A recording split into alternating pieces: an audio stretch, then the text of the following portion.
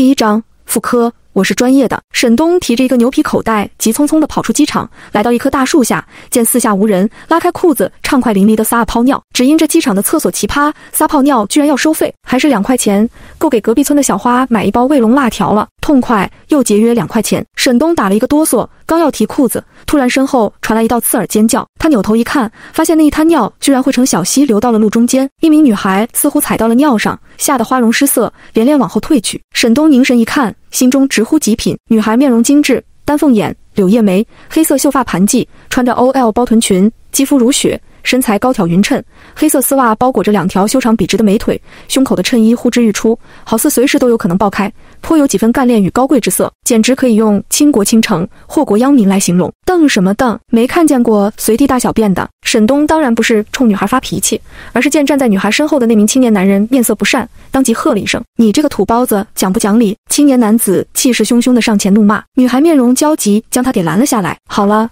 赵志鹏，不要跟这种流氓纠缠，还是快点进去接人吧。土包子，算你走运，以后别让我碰见你。见女孩急匆匆地往机场里跑去，赵志鹏也没再与沈东纠缠。沈东回怼道：“骂谁土包子呢？老子行不更名，坐不改姓，沈东是也。”当听见“沈东”二字时，女孩突然停下了匆忙的脚步。挽了挽耳发，喘着粗气问道：“你叫沈东？”沈东看着对方因喘气而乱颤的酥胸，抹了一把即将流出来的鼻血，点头道：“对我叫沈东，美女，愿不愿意跟我回皮家沟当压寨夫人，保你吃香喝辣，穿金戴银？给你脸了，特马的！”赵志鹏握着拳就准备向沈东冲去，女孩却再度将他拦了下来，急忙问道：“江城皮家沟，你师傅是谁？”老薛。沈东皱眉狐疑道：“你该不会是我师傅在外养的小师娘吧？”薛神医，你是薛神医的徒弟沈东。女孩大喜过望，快步来到沈东面前。你好，我叫林晚秋，是我二叔让你来给我妹妹治病的。我们快走吧。慢着！赵志鹏突然喝了一声，拉着林晚秋嘀咕道：“晚秋，你二叔这是找的什么江湖骗子？你看他的穿着打扮，粗布胶鞋，不修边幅，明显就是一个土包子。他如果会治病，猪都会上树。因为林晚秋的妹妹在医院危在旦夕，所以他才会关心则乱。”现在注意到沈东的穿着打扮，他也是面露狐疑之色。赵志鹏见状，再度劝道：“晚秋，我正好认识几个专家教授，我们回去集思广益，肯定能救妹妹的。他年纪轻轻就成为了青阳市第一医院的专科医师，所以他的话也有几分权威。你们城里人都喜欢以貌取人吗？”沈东忍不住吐槽：“其实他挺冤的。”刚给师傅收了五亩地的麦子，还没来得及喘口气儿，就被师傅塞了一张飞机票送到了机场。在临上飞机前，他师傅千叮咛万嘱咐，对方给的酬劳实在是太多，没办法拒绝。只要苦了他跑一趟，还让他一定要将病人治好才能回去。为了防止他跑路，师傅将他所有的银行卡全部冻结。你真的是医生？林晚秋轻柔的声音响了起来。他还是愿意相信他二叔。沈东立即低身拉开牛皮口袋，里面塞满了各种各样的中草药。他问道：“这样还不能证明我是一名中医吗？你这些杂草是哪儿拔的？这也算是药？真是天大的笑话！”赵志鹏讥笑了一声，拉着林晚秋就准备离开。曹，看来不亮出大炮，你还不相信老子是一个射手了？想到此处，他笑道：“美女，如果我看的不错，你上个月的大姨妈推迟了一周，这个月推迟也快十天了吧？而且你时常感觉腰膝酸软。”头晕脑胀，同时伴随着口苦乏力、失眠多梦出虚汗。林晚秋刚迈出去的脚步突然收了回来，这等私密的事情只有他清楚，而且他也知道沈东所说的分毫不差。曹，你在这儿瞎逼逼什么呢？再胡说一句，我打断你的舌头！赵志鹏恼了，在他看来，沈东这明明就是在调戏林晚秋。然而，林晚秋的俏脸上却浮现出一抹红晕，低声道：“他。”他说的都对，随即他又问道：“你是怎么知道的？”沈东咧嘴一笑，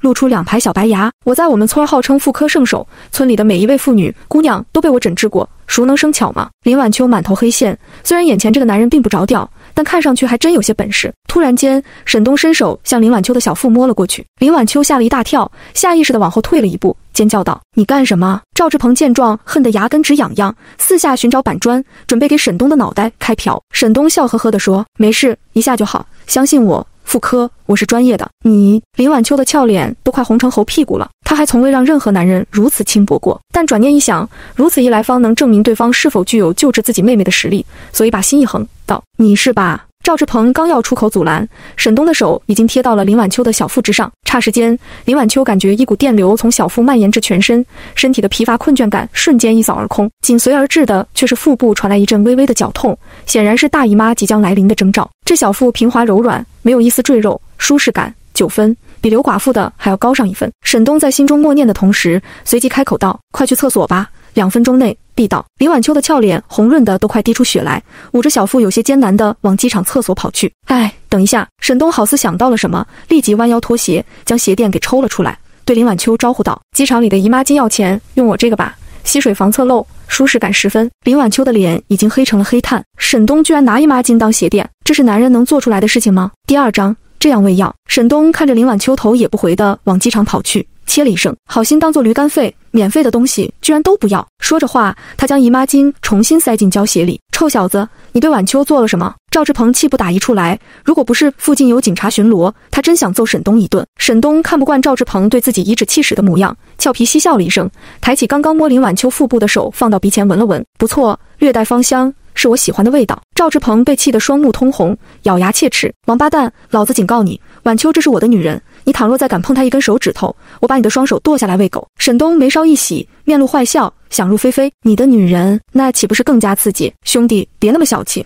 房叔，我更专业，要不要我现身说法教教你，保你夜夜做新郎，一节更比七节强？”赵志鹏气得头晕目眩，世上怎么会有如此厚颜无耻之人？如果他手里有一把刀，绝对会把沈东千刀万剐。挫骨扬灰，你们聊什么呢？林晚秋从厕所回来了，此时的他对沈东的医术深信不疑，困扰他多年的问题好像真的得以完全解决。赵志鹏刚要破口大骂诋毁沈东，沈东却抢先道：“没啥事，这位兄弟时常不举，绵软无力，正向我讨教男科的生理卫生知识。你才不举，你全家都不举。”赵志鹏气得眼泪在眼眶中打转，浑身都在剧烈颤抖。晚秋。你别听他胡说，我很强的。不不不，我很健康，没有不举。林晚秋虽然未经人事，但他是一个成年人，大概能猜到不举的含义。他一脸嫌弃地瞪了赵志鹏一眼，急忙拉着沈东的手往停车场方向跑去。沈先生，您还是快点跟我去医院吧，我怕我妹妹坚持不住。感受着林晚秋那温润如玉的小手，沈东的心都快被融化了。师傅说的果然没错。城里的姑娘就是水嫩。此时，赵志鹏的心都在滴血。他追求林晚秋一年有余，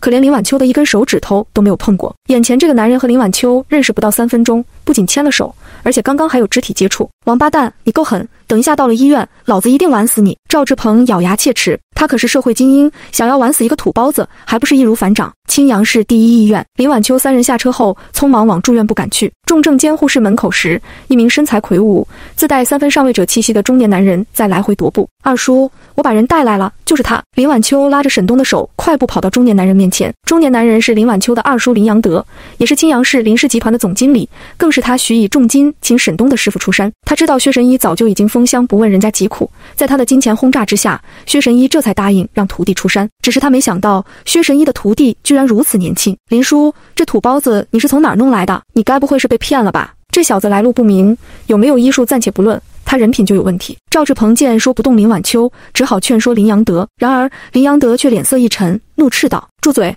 我不允许你污蔑沈先生，你去忙你的，别添乱。”赵志鹏被林阳德突如其来的怒火吓了一大跳，缩了缩脖子，不敢再乱说话。可当他看见一脸讥笑的沈东时，怒从心头起，恶向胆边生。沈先生，还请您施以援手。如若能救我侄女的命，我还有重金酬谢。林阳德虽然对年纪轻轻的沈东并没有太大把握，但眼下几名专业医师教授已经对他侄女下达了病危通知书，生死尽在顷刻之间，所以他也只能将死马当活马医。沈东轻描淡写道：“放心吧，只要能活着见到我，我保他平安无事。”赵志鹏轻轻地呸了一声。从他这位医生的角度来看，只要是拍胸脯打包票的，十有八九是骗钱的庸医。无论是林晚秋还是林阳德，在青阳市都有一定的社会地位。所以，几名主治医生并没有阻拦沈东为林家二小姐林妹儿治病。沈东走进重症病房之后，放下牛皮口袋，单手托着下巴，看着躺在病床上的林妹儿，美，真可爱。美出天际了，只是身体还未发育完善，否者绝对比他姐更有味道。沈东满眼垂涎地看向躺在病床上的林妹儿，那粉嫩的嘴唇，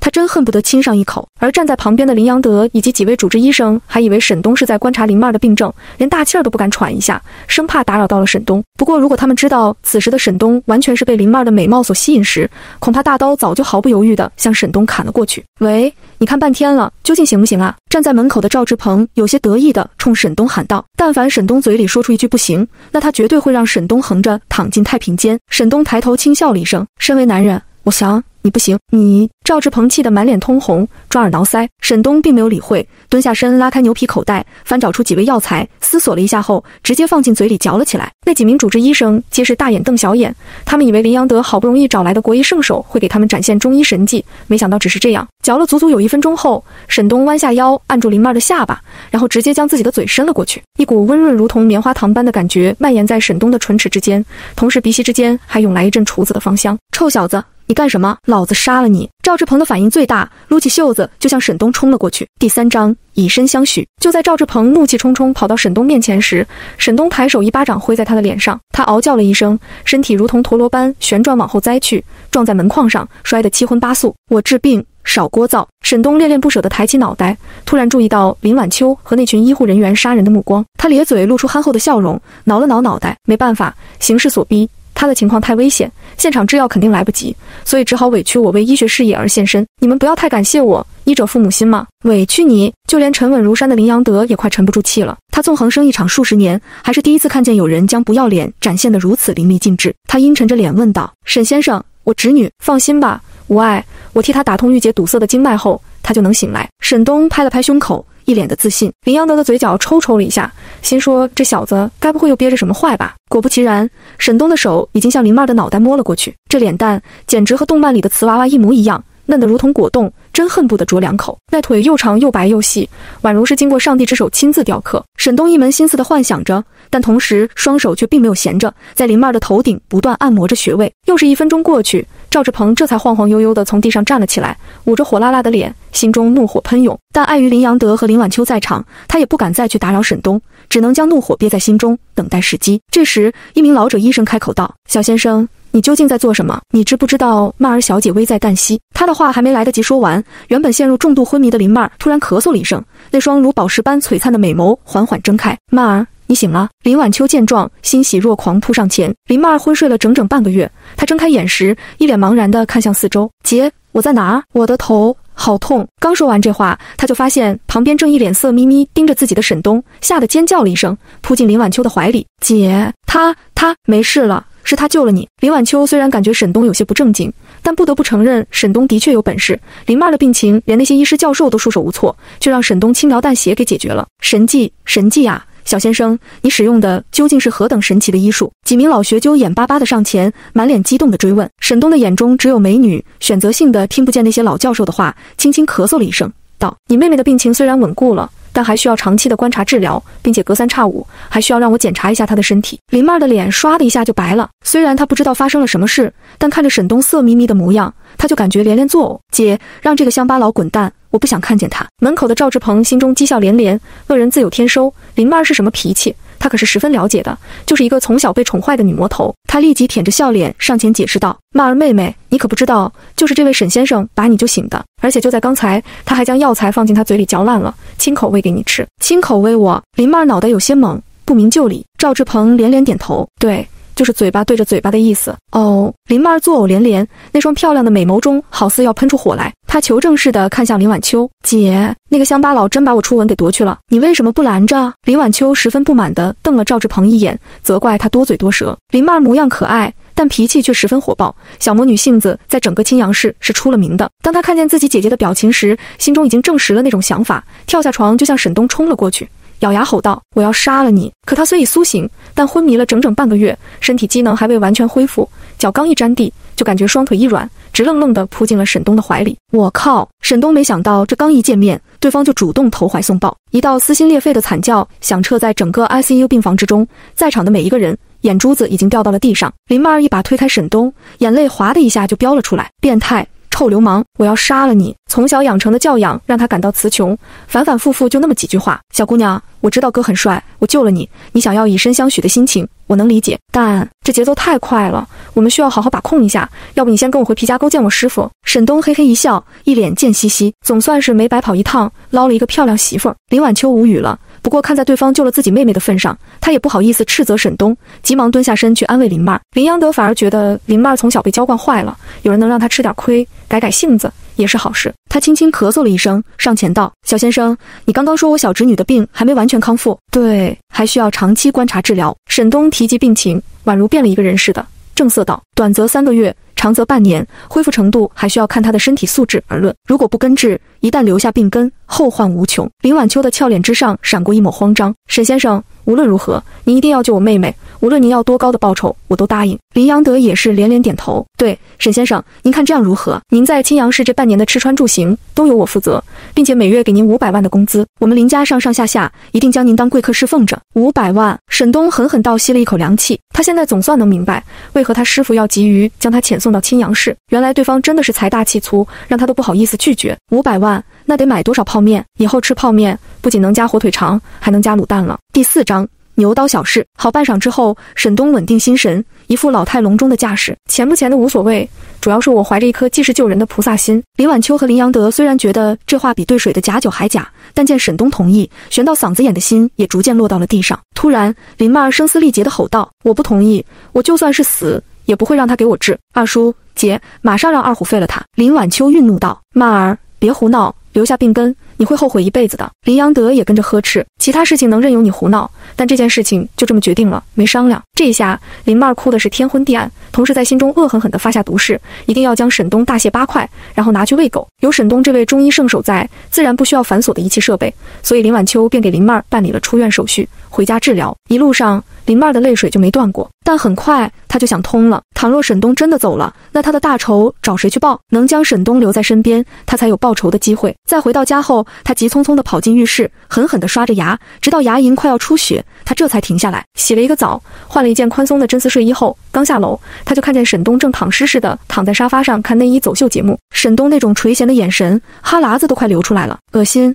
谁让你看电视的？林曼儿大喊大叫，上前关掉电视，然后指着沈东，颐指气使：“谁让你躺沙发上的？懂不懂规矩？还不快点给我起来！”沈东无动于衷。一脸坦然，你姐让我把这里当成自己家，在家里还不能躺着吗？你林曼儿气得双眼通红，眼看又快哭了。说不赢，那就动手。她抬起一脚就朝沈东踹了过去，可沈东却一把抓住他那白皙的脚踝，道：“打是亲，骂是爱，爱得越深用脚踹。我刚刚跟你说了，要注意把控节奏。难道你们城里人都这么不懂得矜持吗？你这个臭流氓，放开我！”林曼儿重心不稳。不断的晃悠着，她只穿着一件真丝睡衣，在家里她喜欢空空荡荡的感觉，而随着身体的摆动，胸口也在不断的晃荡，这可让沈东大饱眼福。眼看着林曼又要哭了，沈东索性把手一松，对方一屁股瘫坐在了地上。她可是号称青阳市小魔女，从小只有她欺负别人的份儿，哪轮得着别人欺负她？沈东见对方楚楚可怜的模样，咳嗽了一声，道：“曼儿小姐。”我觉得我有必要向你解释一下，刚刚你的情况实在是太过于紧急。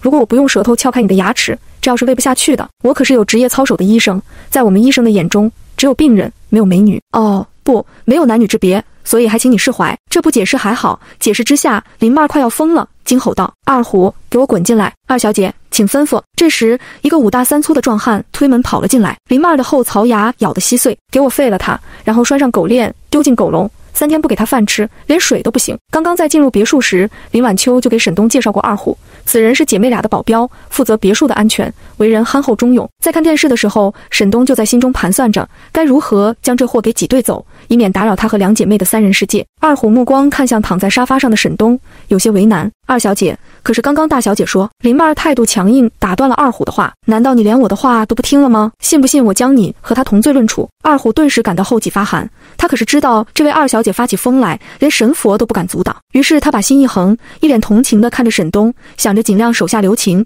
让林曼出出气也就完事了。然而沈东接下来的一句话却彻底激怒了二虎：“就你这样的，也配给人家当保镖？小子，听你的口气，你很能打喽！”二虎的悲悯之心一扫而空，在他看来，眼前这小子还真欠揍，不怕你笑话。我在我们村儿，我连小孩子都打不赢。沈东摇了摇头后，却又一脸自信道：“不过打你这样的。”十个应该没问题。我靠，你装逼装到姥姥家来了！二虎破口大骂了一句，双手成爪向沈东的领口抓去。然而，就在他的手距离沈东还有不到三厘米时，却突然感觉手腕传来一阵剧痛，再也不能寸进半分。随即，他整个人受到一股极大的牵引力，身体腾飞而起，咚的一声撞在了墙上。落地之后，他捂着胸口，一脸痛苦，想要坚持爬起来。却无能为力。原本还准备看好戏的林妹儿呆滞住了，那欢喜的表情凝固在脸上。她万万没想到，沈东这个乡巴佬居然这么厉害。发生什么事了？林晚秋听见楼下的动静，慌慌张张地跑下楼来。刚刚她在楼上给她二叔打过电话，询问沈东的人品。毕竟接下来长达半年的相处，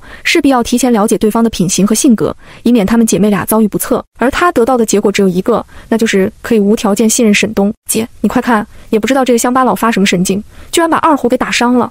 他就是一个不折不扣的暴力狂。林曼儿可不会放过任何一个诋毁沈东的机会。林晚秋看了一眼一脸坦然的沈东，随即想到自己二叔的话，又将目光定格在二虎的身上。二虎怎么回事？大小姐，这二虎支支吾吾的，不敢说话。林晚秋见此情景，心中已经猜到了一个大概，随即上前安抚道：“曼儿，你别胡闹。”沈东先生可是能救你命的大恩人，你就算不对他心怀感激，也要对他礼让三分。我看他就是你和二叔存心找来欺负我的。林曼说完，气鼓鼓地往楼上跑去。这一战，他败下阵来，但身为小魔女的她，早已在心中盘算着下一站。林晚秋叹了一口气，走上前：“沈先生，不好意思，我妹妹从小被娇惯坏了，还请您不要介意。”沈东咧嘴一笑：“没事没事。”我这人天生度量大，不会和美女计较。谢谢林晚秋温柔一笑。对了，沈先生，你有银行卡吗？以后每月的薪酬我会按时打到你的账户上。沈东的银行卡都被师傅给冻结了，所以摇了摇头，表示没有。林晚秋想着让沈东赶紧去办一张，但随即想到沈东在青阳市人生地不熟的，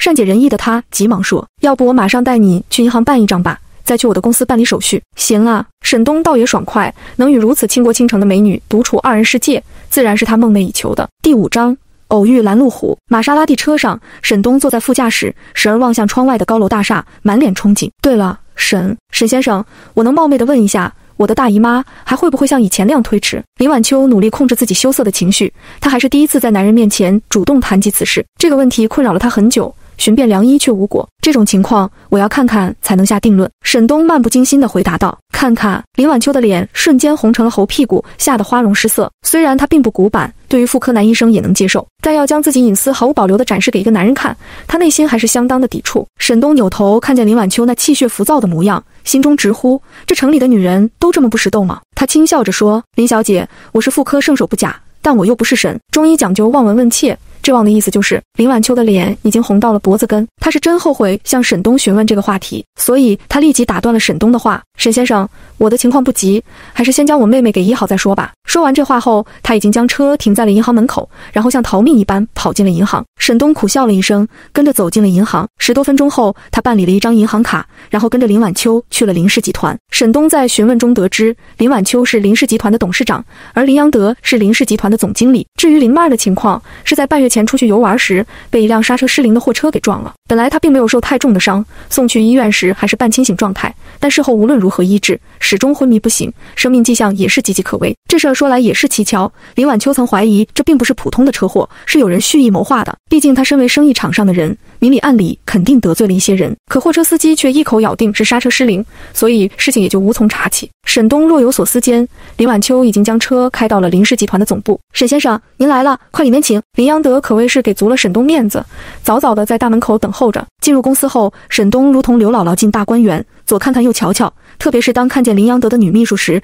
眼珠子滴溜滴溜的转。恨不得贴到对方身上去。沈先生，这是我拟好的劳务合同，您看一下。另外，您在我侄女身上所用的药材，我们会全部报销。林阳德将一份合同递到沈东面前，沈东漫不经心地在合同上签字，随即恋恋不舍地收回目光。林总。你的秘书可真漂亮，用我们村里的话来说，就好像是那画里走出来的仙女。你老实告诉我，网上说你们当老板的都是有事秘书干，没事干秘书，是不是真的？林阳德闻言哈哈大笑起来。沈先生果然是一个直率之人，不过这网上的谬论，听听就好，切勿当真。对于沈东的言论，林阳德并没有觉得有什么不妥，直言不讳，真小人也，可要比那些所谓的正人君子爽快得多。沈东淡然一笑，从兜里摸出一枚小瓶，道：“每次闻一下就好，一周最多闻三次。”保你逆风都能尿三丈。林阳德一愣，随即不动声色地将药瓶收了起来。沈先生，多谢了。没事没事，我师傅教导我，广交朋友，多读书。沈东咧嘴一笑，露出两排小白牙。在办理好相关手续后，林阳德立即让会计给沈东的账户里打了五百万。他捧着手机，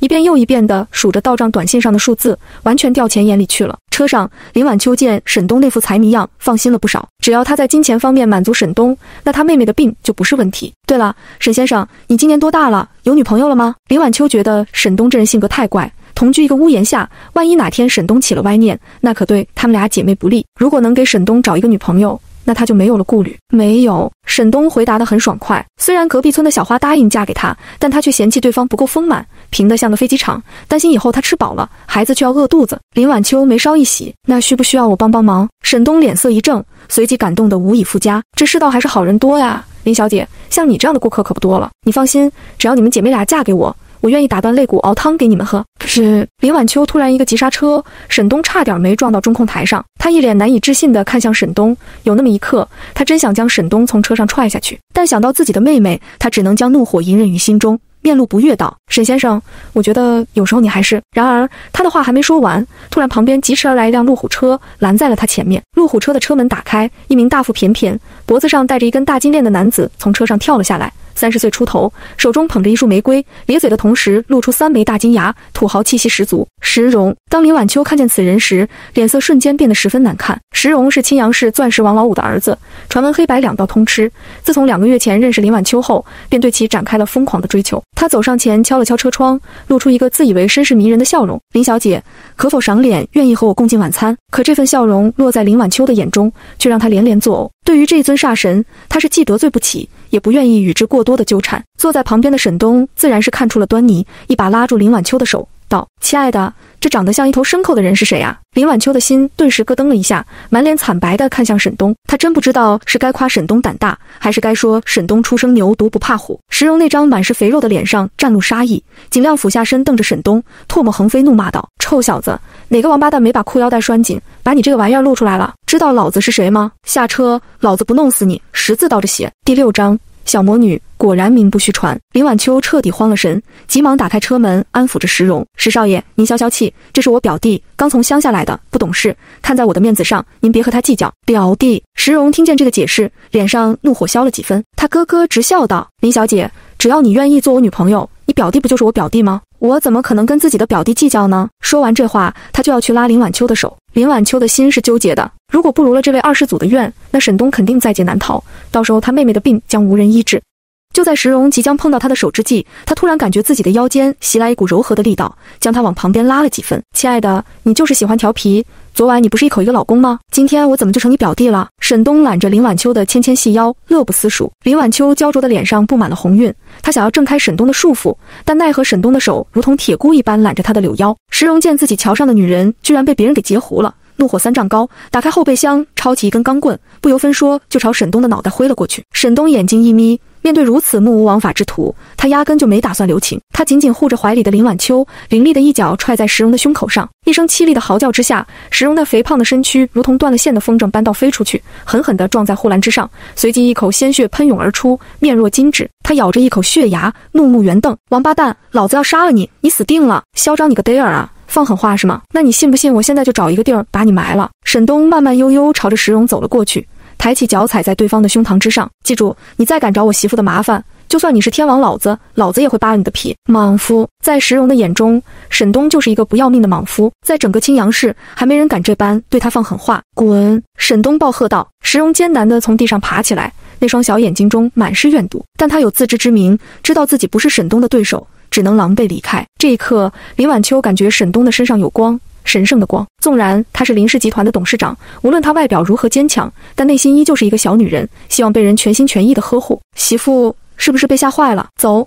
老公回去给你做凝神汤。沈东咧嘴嬉笑，露出两排小白牙。林晚秋猛然回过神来，看着嬉皮笑脸的沈东，心中刚刚升起的一点好感瞬间荡然无存，娇喝道：“谁是你老婆？请注意你的言辞。”沈东满脸无辜，端起碗来吃肉，放下筷子骂娘：“媳妇，这谁教你的？刚刚如果不是我，你可就要被那小子给非礼了。”你林晚秋想骂又不敢骂，生怕把沈东给气走了。你知道你刚刚打的人是谁吗？那可是石荣。算了，跟你说了也没用，我马上送你回去。你这几天最好不要出门。说完，他气冲冲地上了车。沈东一脸不在意。要论背景身份，在整个燕国，还真没几个人能比得上他。毕竟他背后那老头，随便跺跺脚，就能让整个燕国抖三抖。再回到别墅后，林晚秋再三叮嘱沈东不要出门，然后便开车疾驰而去。沈东打石荣。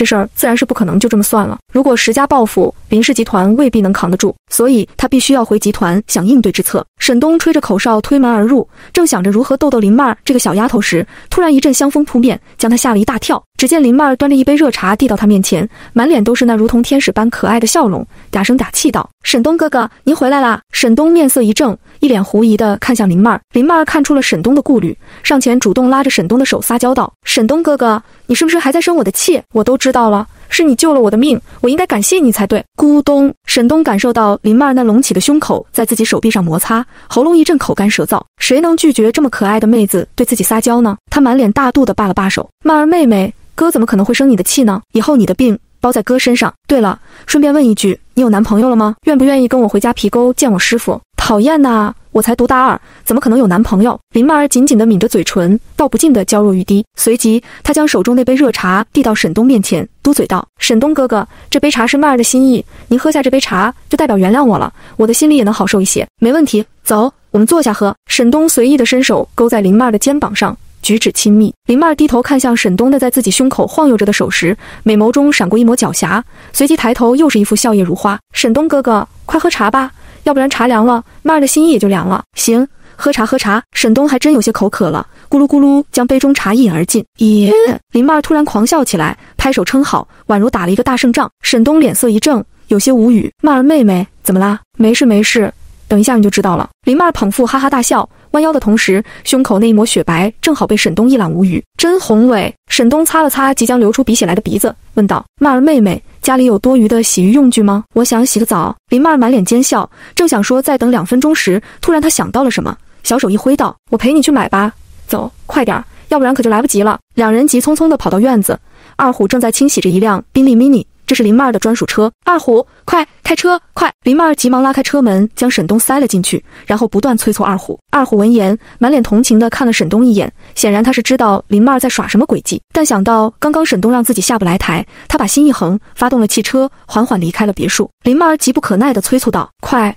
去大华路那边，那里人多。”第七章。林晚秋遭人绑架，林曼儿坐在副驾驶，不断回头张望坐在后排的沈东，兴奋之色已经溢于言表。他已经迫不及待地想要看沈东当众出糗了。可就在他再度回头望去时，却发现沈东手中正拿着一个十分眼熟的瓶子，并且还从瓶子里拿出东西来津津有味地吃着。你们城里的零食就是香。沈东将瓶子递到林曼儿的面前，要不要来一颗？咕咚，这一刻。林曼儿感觉自己裂开了。沈东手中的瓶子上正写着五枚大字：强效泻药丸。这可是林曼儿让二虎特意去药店买来的。刚刚他在沈东喝的茶水里面放了整整十粒，还以为能让沈东将十二指肠给拉出来。你你，林曼儿指着沈东，结结巴巴说不出话来。你不吃，我可吃完了。沈东将最后几粒强效泻药丸倒进嘴里，抱怨道：“香是香。”但就是有点粘牙，不仅是林妹儿，就连二虎的脑袋也是懵逼的。沈东究竟是何方妖孽？强效泻药都能当糖豆吃？小爷我可是号称中医圣手，这点小小的泻药还想让我当众拉稀，这不是让我砸祖师爷的牌匾吗？哎，我这里还剩两粒，不知道会不会不小心掉进某人的饭菜里，又或者我给某人治病的时候，一不小心和其他药搅拌在一起。沈东捏着两枚小药丸，语重心长地嘀咕着。林曼儿快要哭了，她现在才体会到什么叫窒息感。什么叫智商和等级的双重压制？但求饶是绝对不可能的。骄傲的女王只能站着死，绝不能跪着生。就在她下定决心与沈东硬杠到底之际，前方突然驶来了一辆大卡车，横在路中间，挡住了去路。怎么回事？二虎有些茫然。他的话音刚刚落下，车身突然传来咚的一声巨响，震得车内三人一阵晃荡。只见后面一辆追尾的面包车内，陆陆续续冲下来七八个手持棍棒的壮汉，面色凶悍，戾气十足。前方那辆大卡车上，一名寸头男将车窗摇了下来。对着宾利车竖起一根挑衅的中指，情况来得太突然，林曼被吓得大脑一片空白，面色惊恐看向二虎。二虎怎么办？二虎毕竟是保镖，稳定心神后，见前后路已经被堵死，把心一横，道：“曼儿小姐，你待在车上，我去解决掉他们。”说完，他打开车门冲上前，一脚踹翻冲在最前面的那名壮汉，然后拔出腰间的甩棍，气势磅礴地挥舞着。虽然他在沈东的手底下过不了一招，但也是一个实实在在的练家子。面对七八个人的围攻。竟没有落下风，林曼儿已经被吓得六神无主，呆呆地看着车外挨了两闷棍的二虎，心脏猛然抽了一下。这时，大卡车司机跳了下来，手中举着一柄榔头，向车窗挥舞而来。啊！林曼吓得捂着脑袋，不断尖叫。就在车窗破碎之际，她突然感觉座椅被放倒，一条结实的手臂揽在她的胸前，将她猛然往后抱去。她以为是大卡车司机想要将自己抓出车外，惊慌失措间，不断的挣扎嚎叫着：“行了，别动了，我受不了了。”林曼的耳边突然传来沈东倒抽一口凉气的声音，她茫然回过神来，发现自己居然坐在后排沈东的身上，屁股下面垫着什么东西。反应过来的她尴尬到了极点，连死的心都有了，不断拍打沈东抱着自己的手臂，嚎叫道：“快放开！”你这个臭无赖，快松手！沈东再度倒吸了一口凉气，这挣扎的幅度简直不要太要命。他的手刚一松开，林曼快速坐到旁边，红扑扑的小脸恶狠狠地瞪着沈东。他恶狠狠地在心中发誓，等沈东睡觉的时候，他一定拿着剪刀把那玩意儿给剪下来，拿去喂狗。沈东有些难为情地将手伸进裤兜里，不动声色地将其给扶正，轻咳一声道：“你在车里待着，别下车。”惊魂未定的林曼这才注意到，刚刚突袭自己的那名大卡车司机，此时正挂在路边的树上，生死不明。他满脸惊恐地问道：“这，这是你干的？”虽然刚刚在别墅里，他亲眼见识到沈东一招将二虎给揍趴下，但他却认为这是沈东耍了阴招，胜之不武。沈东撇了撇嘴：“没见过世面吗？这就把你给吓住了。”我林曼刚要回怼，突然听见正在激战中的二虎传来一声惨叫。他回头一看，此时的战斗已经进入到焦灼状态。二虎打趴了三个人，但却被四人团团围住，身上血迹斑斑，双拳难敌八脚。他急忙抓住沈东的手臂，惊吼道：“你还愣着干什么？还不快点去帮二虎！他快死了！没事，他身上的血都是对方的，只是挨了几闷棍而已。”沈东正想着将二虎这个电灯泡给挤兑走，现在可是一个大好良机。经此一战，二虎必定要住一两个月的医院，到那时家里就剩他和两朵姐妹花，岂不快哉？为了不让自己的目的太过于明显，他还找了一个冠冕堂皇的借口：万一我走了。有人偷袭你怎么办？我要保护你。林曼儿觉得沈东说的有道理，可看着正在挨打的二虎，他于心不忍。就在这时，他的手机铃声突然响了起来，他急忙捡起掉落在座椅下面的手机，发现是他姐打来的，急忙接了起来。姐，你……可他的话还没说完，手机里就传来林晚秋刺耳的尖叫：“曼儿，你快跑，别在家里啊！小妞还敢跑！”手机里传来一名男子粗狂的暴吼声，紧接着林晚秋不断尖叫求饶：“姐姐。”你怎么啦？林曼儿心如急焚，吓得眼泪啪啦啪啦往下掉。可回应她的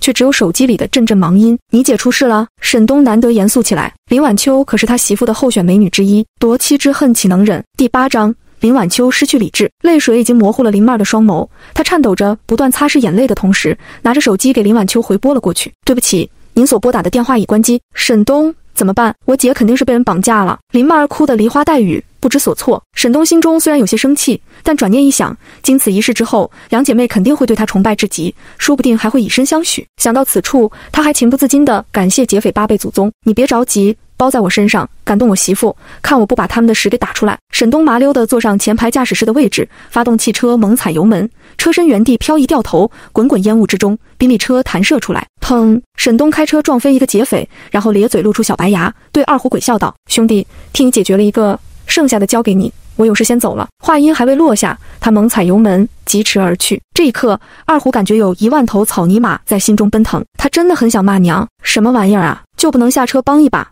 二虎他没问题吧？担惊受怕之余，林曼扭头望向正在与劫匪激战的二虎，颇有些于心不忍。沈东轻描淡写道：“没事，劫匪的主要目标是抓你，只要你逃了，他们就不会再继续纠缠。再说了，二虎虽然看着挺虎逼的，但他又不傻。”打不赢还不会跑吗？林曼儿觉得沈东说的有些道理，放下心来，随即问道：“我们现在去哪儿？报警吗？报警？这不是分摊老子的功劳吗？这还怎么让两朵姐妹花对自己暗生情愫，以身相许？”沈东正在心中嘀咕着，林晚秋再次给林曼儿打来了电话，他哆嗦着手按下接听键，拼命地呼喊道：“姐姐，曼儿小姐。”没想到你的命还真大，居然能逃出我的魔爪。手机里传来的并不是林晚秋的声音，而是一个男子得意的狂笑。林曼儿面若金纸，泪眼婆娑。你是谁？你把我姐怎么样了？快放了我姐！想要救你姐，就马上来林业化工厂。你如果敢报警，我就保证你只会看见你姐的尸体。对方说完，直接挂断了电话。林业化工厂，林曼儿六神无主，现在唯一能倚靠的就是沈东。手机里的声音，沈东听得一清二楚。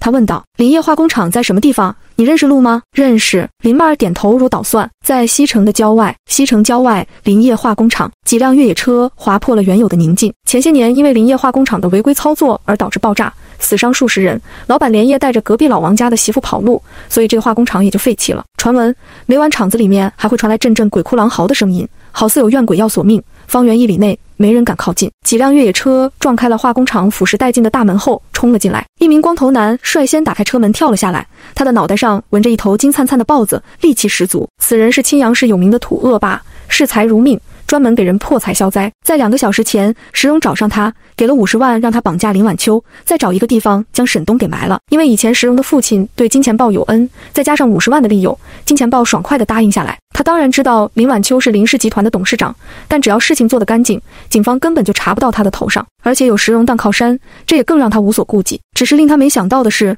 负责抓捕沈东的几人居然失手了。他为了防止林妹儿报警，当即给林妹儿打去了威胁电话，逼迫对方前来。五花大绑的林晚秋被两人推下了车。此时的他早已没有了往日的高贵，狼狈不堪，更是吓得花容失色。他哭诉着求饶道：“你们是什么人？求求你们放了我！你们是不是为了钱？我可以给你们。”林氏集团的董事长号称我们青阳市的第一美女，果然名不虚传。金钱豹伸手捏住林晚秋的下巴，满脸垂涎。几名小弟也跟着笑了起来。老大，需不需要我亲自给她洗一洗？等一下你想用？林晚秋吓得脸色发白，看着周围鸟不拉屎的环境。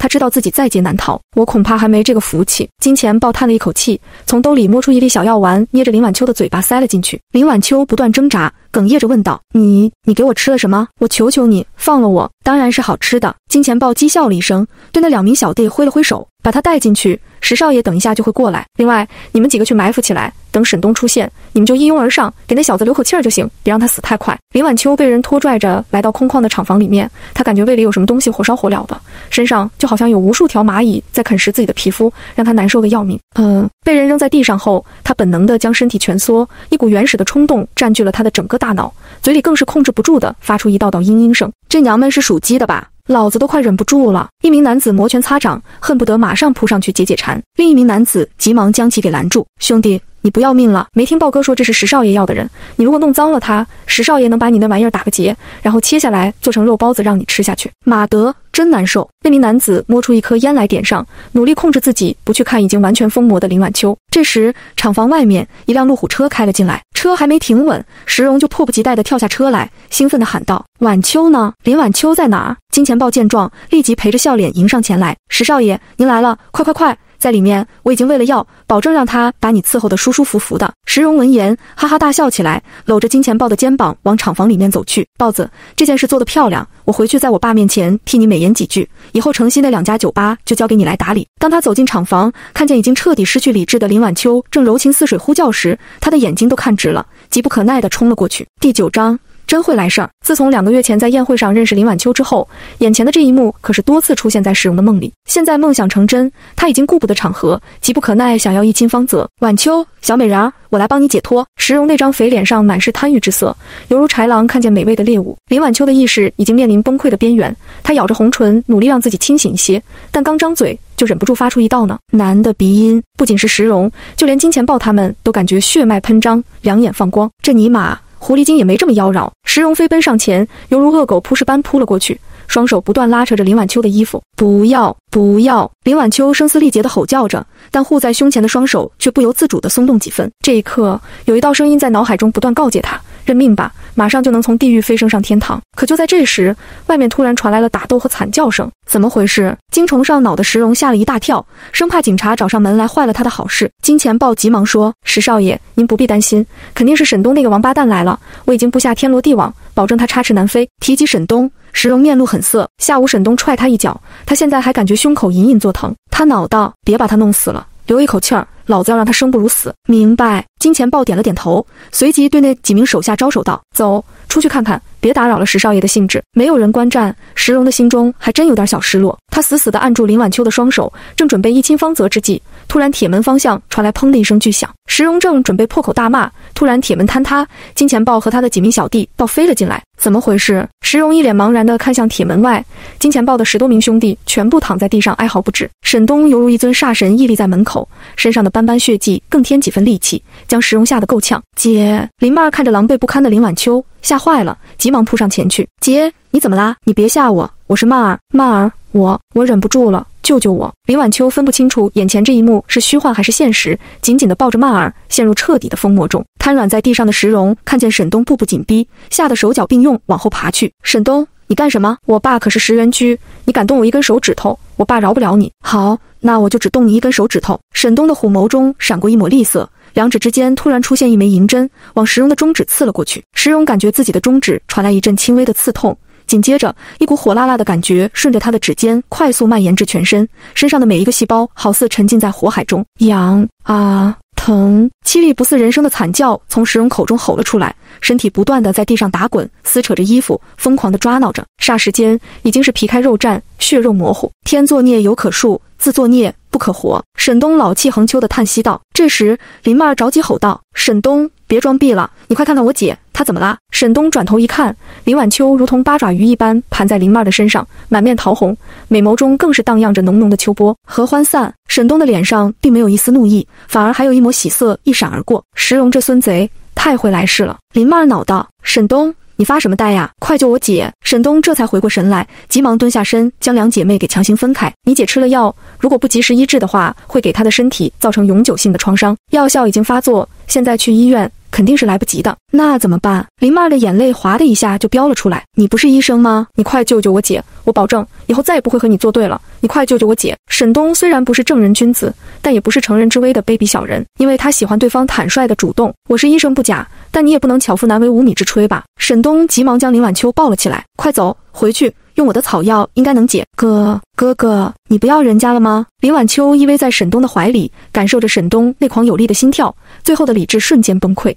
哎呦，我的亲娘嘞！真要了我的小命！沈东心中那叫一个苦，不断的默念着：“二弟呀，你可千万别抬头，咱可是正经人，你别害我犯错误。”沈东，你快点儿，磨磨蹭蹭的干什么呢？林曼儿已经跑上前，将车门给打开，不断催促着：“快点儿！”听见这个熟悉而亲切的词汇，沈东的脑海中就忍不住浮现出当初深夜去找隔壁村小花谈心时，在小花母亲的卧室窗外听见的缭绕声音，再加上林晚秋这妮子在他怀里不安分。不断的闹腾着，这更让他快走不动道了。再费了九牛二虎之力，沈东才将林晚秋塞进车内，然后坐上驾驶室，急忙往家里赶去。快快进来！林妹儿急忙推开别墅大门，然后将沈东的牛皮口袋给找了出来。快进来！沈东心中苦逼到了极点，心中直呼：难道天底下的女人就只会这些用词吗？他快步走进别墅大厅，一把将盘附在自己身上的林晚秋扔到了沙发上。哥哥，别丢下我，我想要你。你，林晚秋紧紧地抓着沈东的手，眼神迷离。楚楚动人，沈东心中难受的一逼，他是真想要发挥舍己为人的风格，但当他看见一脸焦灼的林曼儿就在旁边时，心中的憋屈也只能强忍下来。在甩开林晚秋的手后，他蹲下身，在牛皮口袋里翻找着草药。姐，你干什么？你别脱衣服啊！你清醒点。正在沈东专心致志寻找药材之际，耳边突然响起了林曼的声音，这让他下意识的转头看了过去。第十章。她是我媳妇，这不看还好，看了之后，沈东只感觉一股热气顺着小腹直冲天灵感，鼻子中好像有什么东西淌了出来。你看什么看？别看，快闭上你的狗眼！林曼儿控制住林晚秋，见沈东的窘样，顿时勃然大怒。沈东咧了咧嘴，从牛皮口袋里掏出了一台诺基亚棒棒机，他准备拍下这一幕，晚上自己偷偷的看时，却发现手机居然关机了。我的超长待机居然没电了！沈东心中有些不悦，这么好的一个收集素材的机会，居然就这样失之交臂了。沈东。我求你了，你快点好吗？林妈儿已经快压不住林晚秋了，再度哭诉着喊道：“催什么催？我这不是来了吗？手机没电。”沈东心中挺憋屈的，拿了几味药材往嘴里塞着的同时，抱怨了起来。见沈东往嘴里塞草药，林曼慌了：“你你干什么？难道你又打算用嘴给我姐喂药？不然呢？”沈东威胁道：“想要救你姐就让开，要不然我可走了。能看不能吃，悲哀莫过于此。”林曼儿一时也拿不定主意，犹豫了一下，这才娇喝道：“我可告诉你，这件事情不能告诉别人。”这可是我姐的初吻。沈东翻了一个白眼，初吻了不起？我的初吻还给了你呢？你怎么这么无耻？提及这事儿，林曼是又气又恼。那也是他的初吻。恼怒之下，他竟然急中生智，把药给我，我来喂我姐也行。张嘴，我把药吐到你嘴里，你别无理取闹。我让你给我完整的药材，没有了。能救你姐的药材就这么多。来吧，张嘴，我们俩又不是没亲过。要不然我可亲你姐了。你林曼儿气得咬牙切齿，但要让她吃沈东嚼过的东西，她还真狠不下这个心。刚刚林曼儿只是给林晚秋整理好了衣服，现在林晚秋这一闹腾之下，领口再次凌乱。沈东惊鸿一瞥，心中直呼难受的要命。姐。你别乱动了！林曼飞扑上前，按住林晚秋，同时对沈东喊道：“你看什么看？还不快点喂药！”沈东的嘴角划过一抹不易让人察觉的鬼笑，然后俯下身，抬起林晚秋的下颚，低头吻了过去。坦白说，林晚秋的唇可要比隔壁小花柔软多了，那种触感和质感，简直让沈东无法用言语来形容。喂，你干什么？喂完没有？你是不是故意占我姐的便宜？一分钟过去了，林曼见沈东没完没了，心中颇为恼怒。死丫头，我诅咒你们这辈子都吃不上四个菜！沈东心中恶骂了一句，随即站起身来，抹了一把嘴巴，道：“你把我想成什么人了？我不是说过吗？在我们医生的眼中，只有病人。你可以侮辱我。”但绝对不能侮辱我身为医生的身份。林曼儿一脸鄙夷地看向沈东，在他看来，沈东除了满嘴跑火车之外，啥都不是。别用那种眼神看着我，我是有道德的医生。沈东一脸坦率道：“去打一盆热水来给你姐擦擦脸，半个小时后她应该就会醒过来。会不会留下后遗症？”林曼儿最担心的就是这个问题。后遗症？你是在质疑我的医术吗？沈东翻了一个白眼，没再理会，拿着充电器四处找插座。原本躁动不已的林晚秋逐渐安分了下来。双眸紧闭，一脸的平静。林曼儿急忙给他拿来了毯子盖上，并用热水给他擦拭着脸蛋。就在这时，别墅大门口突然走进来几名警察，为首的是一位四十岁左右、国字脸的中年男人，他给人一种刚正不阿、铁面无私的感觉。就他那双眼睛一瞪，哪怕是普通人都恨不得将自己肚子里那点小九九招供出来。你们找谁？林曼儿皱眉问道。国字脸男人掏出证件。道：“我是江市刑警大队队长梁国正。据我所知，你们与林业化工厂那起恶性斗殴事件有关。警察叔叔，我们可是冤枉的，石荣才是罪魁祸首。你们快去抓他，他绑架了我媳妇。”沈东乐呵呵的上前，总算是看见能为我们主持公道的亲人了。曼儿妹妹，你还不快去给几位警察叔叔倒水？你媳妇林曼儿不可思议地看向沈东，她见过不要脸的，但还真没见过像沈东这般往自己脸上贴金的。你给我放老实点，别嬉皮笑脸的。梁国正身后一名年轻警员指着沈东的鼻子喝道：“我问你，石荣中毒是不是和你有关？现在他还在重症监护室里躺着呢。”沈东直呼冤枉，不是中毒，是石骨散，我只是给他下了零星一点而已，给他长点记性。半个小时后自动就解了。年轻警员正准备再次呵斥，梁国正却瞪了他一眼，随即看向沈东：“小兄弟，既然你与此事有关，那请跟我们走一趟吧。我们需要了解事情的原委。”不行，他不能跟你走。林曼儿突然冲上前，挡在沈东面前。他虽然很讨厌沈东，巴不得这家伙马上去死，但如果沈东走了，他姐在犯病，那怎么办？而且他可是知道石荣的父亲黑白两道通吃，沈东一走，说不定就回不来了，所以他才会站出来护着沈东。而他的大小姐脾气还真不是盖的。你们有传唤令或者是拘捕令吗？拿来我看看，要不然你们就和我的律师谈吧。被女孩子护着，沈东心中淌过一道暖流。他没想到林曼居然也有如此霸气高光的时刻。梁国正笑了笑。道：“我们有传唤嫌疑人的权利，并且身为严国公民，有义务配合我们调查。如果拒绝配合，我们在某种情况下可以采取强制手段。”我林曼儿不知所措，对方的一席话对得她哑口无言。曼儿妹妹，没想到你居然这么关心我。沈东眉梢一喜，警察可是我们的亲人，我只是去配合他们收集证据而已。有了足够的证据。才能够将那些为虎作伥的坏蛋一网打尽。林曼儿扭头，一脸诧异地看向沈东，她真不知道该夸沈东单纯可爱，还是该骂沈东愚昧无知。这一走，说不定一辈子就这么没了。曼儿妹妹，好好照顾你姐，等我回来。沈东对林曼儿抛了一个媚眼，然后便跟着梁国正几人离开了别墅。第十一章。警花宋凌霜。青阳市警察局审讯室内，梁国正给沈东倒了一杯茶，还算客气。小兄弟，别紧张，我只是向你了解一下事情的详细始末而已。沈东抿了一口茶，刚要说话，一名警员急急忙忙地跑了进来，在梁国正耳边低语了两句。梁国正闻言，面色一紧，抬头对警员问道：“真的？”警员面露难色，点了点头。梁国正的脸色逐渐凝重，在抬头看向沈东时，犹豫了一阵。道：“小兄弟，你先坐会儿，我有事先去处理一下。”沈东看出了蹊跷，但并没有多嘴。在目送梁国正离开之后，他见旁边有插座，立即掏出充电器给棒棒机充电。熟悉的诺基亚开机铃声响了起来。开机后，他在电话簿里找到师傅的号码，拨了过去。稍轻，手机里传来震耳欲聋的 DJ 声，同时还有多名莺莺燕燕的女人在争相劝酒。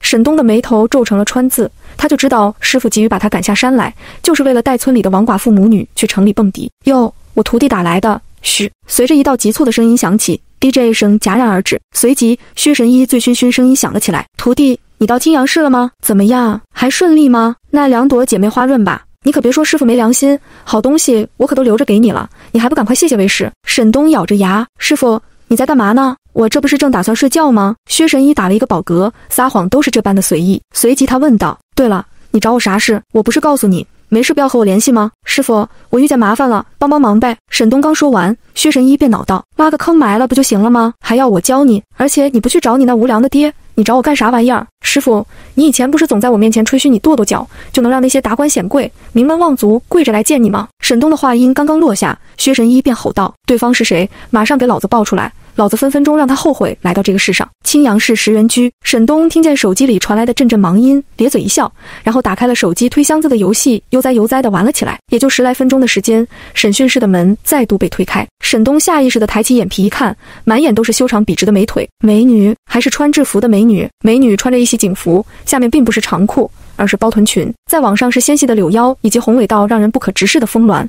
白皙的玉颈上是一张绝美到无可挑剔的脸蛋，那气质简直可以用英姿飒爽、波涛汹涌，甚至是气势逼人来形容。看着轮廓，绝对是天然的。这一下就把林晚秋两姐妹给比了下去。就在沈东看得入神之际，突然一道劲风袭面，他眉头一皱，下意识的伸手将其给握住。随即反应过来的他发现，这居然是那美女的修长美腿。美女。你干嘛？沈东愣了愣神，一脸欣喜地看向美女的裙底，但奈何对方穿着打底裤，啥也没捞着。把你的脏手拿开！美女凶巴巴地瞪着沈东，一只手已经握紧腰间的警棍，心中大为诧异。想当初他在警校时，格斗术在学校里可是名列前茅。就算是现在，整个大队里除了队长梁国正外，还从来没人能轻描淡写地挡下他这一招。刚刚他听说有人竟然让臭名昭著的石荣吃了大亏，兴致冲冲地跑了过来，打算交下沈东这位朋友。可他没想到，刚一进门，沈东就用那种不安分的眼神盯着自己，这让他心中颇为不悦，才会悍然出手。这一击之下。对方果然名不虚传。沈东松开了手，目光在对方胸前一扫而过。美女，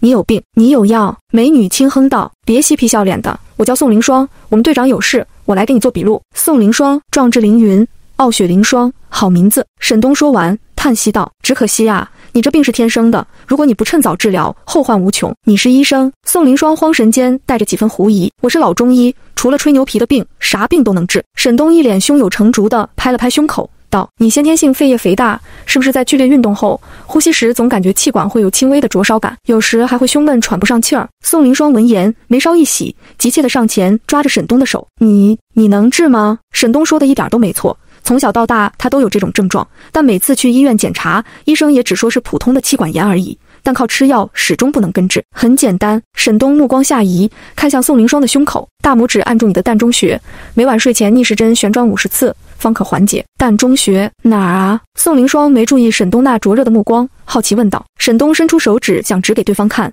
但又担心对方会误会，所以指着自己胸口的膻中穴道：“就是这儿，喉咙正下方两寸的位置。”宋凌霜下意识地低头，反应过来时，脸颊上瞬间浮起两朵红晕，但随即他好像想到了什么，喝道：“骗子！”敢吃本姑奶奶的豆腐！说完，他抬手一巴掌就向沈东的脸招呼了过去。沈东没想到这小妞翻脸比翻书还快，立即伸手抓住对方那白皙的手腕。美女警官，你就不能温柔点吗？我是骗你的心还是骗你的身体了？放开！你给我放开！宋凌霜不断的挣扎，但沈东的手就如同铁箍一般箍着他的手腕。沈东的脑袋有些发懵，眼睛直勾勾的看向对方那左右晃荡的凶器，恨不得把自己眼珠子贴上去。就在这时，审讯室的门再度被推开，一名年轻男警员走了进来。当他看见这一幕，立即拔出腰间的配枪，瞄准沈东的脑袋。王八蛋，你想要袭警吗？快放开，要不然我开枪了！枪！沈东转头看向那黑漆漆的枪口，目光变得比鹰色还要锐利，闪身上前，一把夺过对方手中的配枪，凌空一掌向对方劈了过去。第十二章。来自石荣的威胁。第十二章，这一掌势大力沉，年轻警员嗷叫了一声，倒飞了出去，砰的一声砸在墙上。宋凌霜呆立在原地，脑袋有些懵。刚刚沈东的速度之快，竟让他都没有反应过来。这一瞬间，他的脑海中忍不住幻想：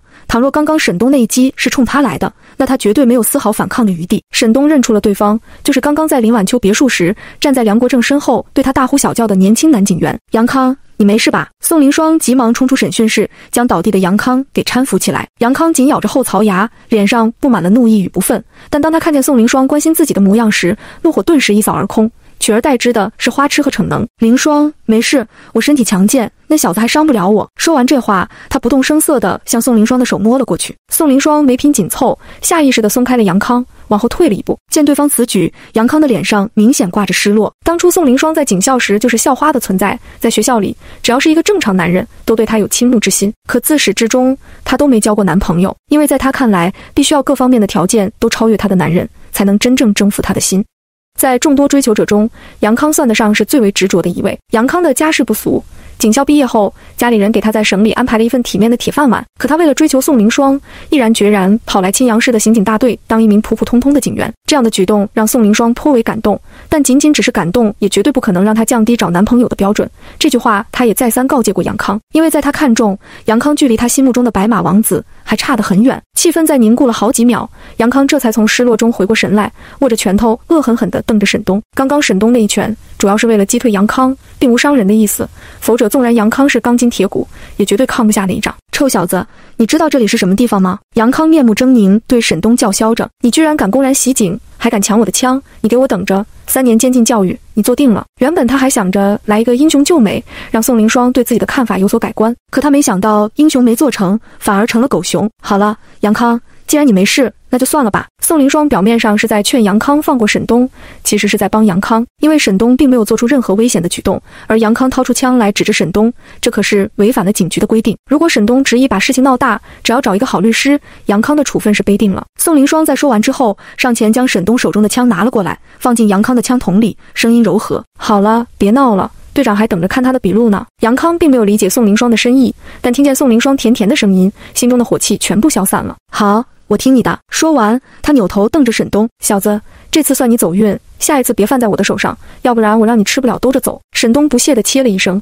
垂涎的目光落在宋凌霜的翘臀上，随即漫不经心地坐了下来。“你们不是要做笔录吗？快点儿！”我还没吃晚饭呢，因为宋凌霜背对着沈东，所以并没有注意到沈东那不善的目光。可杨康却将沈东那诡诈的表情看得清清楚楚，这让他心中的怒火再次燃烧起来。在他心中，宋凌霜就是他的女人，小心眼的他绝不允许别人偷窥一眼。以前有同事在宋凌霜面前献殷勤，结果他动用家里的关系，直接将那几名不长眼的同事调到了鸟不拉屎的地方。王八蛋！看以后老子怎么玩死你！杨康恶狠狠地念叨着，同时心中已有良策。他当然不可能违反规定，公然找沈东的麻烦，但找几个混混，天天对沈东围追堵截，他还是能办得到的。毕竟没有哪一个混混会拒绝他的一个人情。宋凌霜见事情平息下来，在坐下后对沈东盘问道：姓名、年龄、职业。沈东家住上京。具体的位置我也不知道，十多年没回去过了。沈东如实回答，在他八岁那年，父母就把他送到薛神医身旁学艺，偶尔会被师傅安排去严国军营，亦或是境外历练。十多年来，除了医术之外，他还精通天文地理、金石子集以及各大门派的功夫，甚至是各种枪械，他也有所涉及。他记得母亲曾对他说过，家里将他送去夹皮沟，是为了变相的保护他，因为沈家内部暗流涌动，外面更有不少仇家对沈家虎视眈眈。他身为沈家嫡孙，不能出现任何的差错。身份证拿出来，我看看。你这个土包子，别往脸上贴金！杨康见沈东满嘴跑火车，气势汹汹地质问道：“因为沈东的穿着打扮明显就是大山里的土包子，怎么可能和上京扯上关系？”沈东斜靠在椅子上，抬头一脸蔑视地看向杨康，声音低沉却充满了穿透力：“你算哪根葱？有什么资格跟我这么说话？你……”杨康刚要发火，审讯室门口出现了一位伟岸的身影。杨康干什么呢？杨康闻言哆嗦了一下，急忙转身凑上前去：“队长。”这小子行了！梁国正打断了杨康的话：“你出去吧，这里没你的事儿。”杨康动用关系将几名能力出众的警员调离别处，梁国正是知晓的，所以他对此人颇为不满。杨康见梁国正的脸色有些难看，不敢再多言，恶狠狠地瞪了沈东一眼，然后对宋凌霜笑道：“凌霜，加完班我请你宵夜。”说完，他快步离开了审讯室。宋凌霜还从未见过梁国正的脸色这么阴沉，心中有些不安地问道：“队长。”发生什么事了？梁国正深沉地吸了一口气，看向沈东。沈东，跟我走吧，我带你从后门离开警局。记住我的话，连夜离开青阳市，切不可逗留。第十三章，地下皇帝石原居。队长，发生什么事了？宋凌霜吓得花容失色。难道是石荣他们想要公然报复沈东？他们的胆子也太大了吧！什么也别说了，石荣的父亲石原居有多大能量，你不是不知道。梁国正再度叹了一口气。沈东。快走吧，别愣着了！是不是上面对你施压，让你把我交出去？如果我就这么走了，你怎么向你的上级交代？沈东并没有因此而感到害怕，反而一脸的风轻云淡。坦白说，他真的很器重梁国正刚正不阿的性格。沈东，你最好把你那点小聪明放回肚子里。我的事情还不需要你来操心。梁国正说完，上前拉着沈东的手，快步冲出了审讯室。他知道这个世界上没有永远的白与黑，更多的是灰。面对黑暗，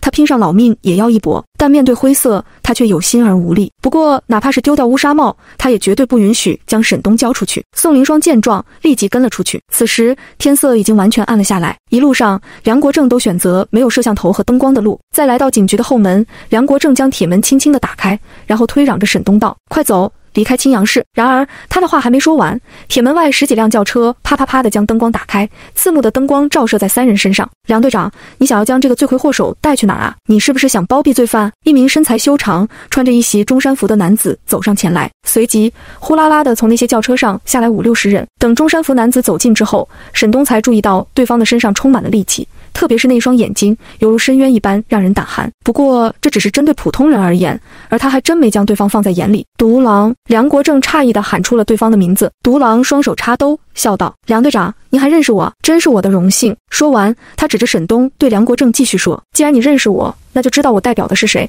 把那小子交给我，你乖乖回去睡觉吧。反正这件事情，你一个小小的队长。”还真没资格掺和。宋凌霜突然冲上前，挡在沈东面前。你们知道这里是什么地方吗？你们敢乱来，信不信我把你们全部抓起来？当他现身的瞬间，独狼的眼睛瞬间就直了。我的乖乖，梁队长，这就是你的不对了。我咋不知道你手底下有这么漂亮的小妞呢？行了，别逼逼了，我跟你们走。沈东叹了一口气，走到宋凌霜面前，直视着独狼。任凭灯光如何刺眼，他愣是连眼皮儿都没有眨一下。他知道梁国正和宋凌霜能做到这个份上，已经是仁至义尽了。沈东。你不能去。宋凌霜虽然看沈东有些不顺眼，但沈东能不畏强权，与地痞恶霸搏斗，这是他值得欣赏和佩服的。宋大美女，多谢了，今天这份恩情，日后我必定报答。沈东对梁国正两人拱了拱手，不顾宋凌霜的阻拦，径直走到对面的轿车旁坐了进去。独狼贪婪地扫视了一眼宋凌霜的身材，不过他没有忘记此行的目的，对身后的数十名兄弟挥了挥手后，坐进了车内。很快，十几辆轿车带着嚣张的气焰绝尘而去。队长。怎么办？你快想想办法呀！宋凌霜焦急地抓着梁国正的手臂，急得眼泪在眼眶中打转。梁国正一脸悔恨地闭上眼，竟扑通一声瘫坐在了地上。他与黑暗争斗了一辈子。没想到最终还是输给了黑暗。就在这时，他的手机铃声响了起来。他掏出手机一看，眉宇间挂着几分喜色，当即按下了接听键。在西城郊区的一栋豪华别墅内，一名身穿唐服、浑身上下充斥着一股睥睨天下之姿的中年男人端坐在沙发上，双手捏着一根镶满宝石的拐杖，霸气逼人。此人便是有青阳市地下皇帝之称的石元居，石荣的父亲。爸。一道虚弱的呼唤声在楼梯口响了起来。石原居扭头一看，身上裹满纱布的石荣被几名保姆搀扶着走下楼来。蓉儿，你不在楼上躺着，下来干什么？石原居立即起身，那张威严的脸上布满了担忧。沈东给石荣吃了石骨散，并不会危及性命，但会让石荣奇痒难忍，越挠越痒，直到将全身皮肉挠得血肉模糊。爸，沈东呢？今天我不看见那个王八蛋被大卸八块，我睡不着。石荣激动的浑身都在颤抖。但动作幅度太大，拉扯到了伤口，疼得他龇牙咧嘴。放心，我已经派独狼去抓了，任凭他插上翅膀，也逃不出我的手掌心。石原居刚说完，独狼便从门外跑了进来。大哥，人已经带来了，就在外面，快快把他给我带进来，我要让他生不如死。石荣兴奋地嚎叫着，他好像已经忘记了身上的疼痛，一门心思想要弄死沈东。是少爷，独狼应了一声，对门外挥了挥手，随即沈东被两名壮汉压着走进别墅内。但他的脸上并没有丝毫的慌张，反而被周围金碧辉煌的装修吸引了眼球。爸，就是他，就是他给我下的毒，快弄死他，快弄死他！石荣激动地喘着粗气，如果不是身上有伤，他恨不得扑上去，活活将沈东给咬死。石元居那如同刀锋般锐利的眸子打在沈东的身上，小子。你什么来路？胆敢动我儿子？他纵横江湖数十载，仇家满天下，但能保得身家富贵，也正是因为他有一定的觉悟。刚刚他就在琢磨，在这青阳市，没人不知道石荣是他的儿子，而沈东居然还敢对石荣动手。这让石原居不得不怀疑沈东背后是不是有什么强大背景。可现在，当他看见沈东的穿着如此普通低廉时，心中的顾虑已经打消了一大半。沈东注意到石原居那射红色的眼瞳，有些诧异。看阁下的眼瞳已成射红色，丧命在你手底下的冤魂没有一百也就八十了吧？真是罪孽深重。第十四章以命相搏。石元居闷哼道。既然知道我是一个吃人不吐骨头的主，你还敢来招惹我？我招惹你？沈东沈笑了一声，这个世界还真是可笑，居然能明目张胆的颠倒黑白。这件事情好像是你儿子的错吧？是他屡次三番招惹我媳妇，我只是给了他一点教训而已。教训？就凭你也配在我面前提这两个字？石元居的虎眸金光大放，我儿子能瞧得上你的女人，那是你的福气。就算你有背景，但在这青阳市是龙。你也得给我盘着。话音刚落，他立即对独狼递了一个眼色。独狼心领神会，单手成爪向沈东的肩膀抓起，打算先废了沈东一条胳膊。然而，就在他的手距离沈东的肩膀不过半尺之遥，正准备用力时，他却突然感觉自己的眼前一花，一道鬼影闪过，神不知鬼不觉之间，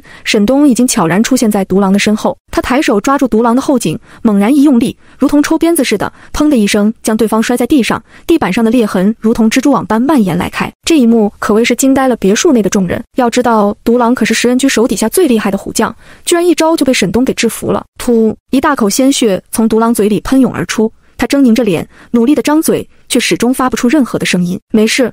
疼一下就过去了，我下手重。沈东伸手拍了拍独狼的脸，宛如是随手捏死了一只蚂蚁。独狼饿了一声，脑袋一歪，嘴里不断的冒出鲜血，失去神采的双目依旧睁着。他到死也没想到自己居然会败得如此稀里糊涂。搀扶着石荣的几名保姆吓得连连尖叫，发疯似的往别墅外面跑去。石荣扑通一声摔在地上，疼得他龇牙咧嘴，裹满纱布的身体不断的颤抖。他见识过不少狠角色，但绝对没有看见过像沈东这般轻描淡写间就取人性命的魔鬼。沈东拍了拍手。一脸平静地看向石原居，刚刚你说什么？是龙也得盘着。不好意思，我这条龙专吃地头蛇。石原居不愧为老江湖，诧异之色只是在脸上一闪而过，然后他笑着鼓掌道：“小兄弟，好俊的功夫！你师傅是谁？以后愿不愿意跟我混？只要你肯点头，二把手的位置我给你，金钱美女，豪车别墅。”一辈子的荣华富贵，一辈子的荣华富贵。沈东宛如是听见了一个天大的笑话，哈哈大笑道：“正所谓君子爱财，取之有道；小人爱财，没有礼貌。我杀了你，你的财富不都是我的了吗？”石原居没料到沈东不按常理出牌，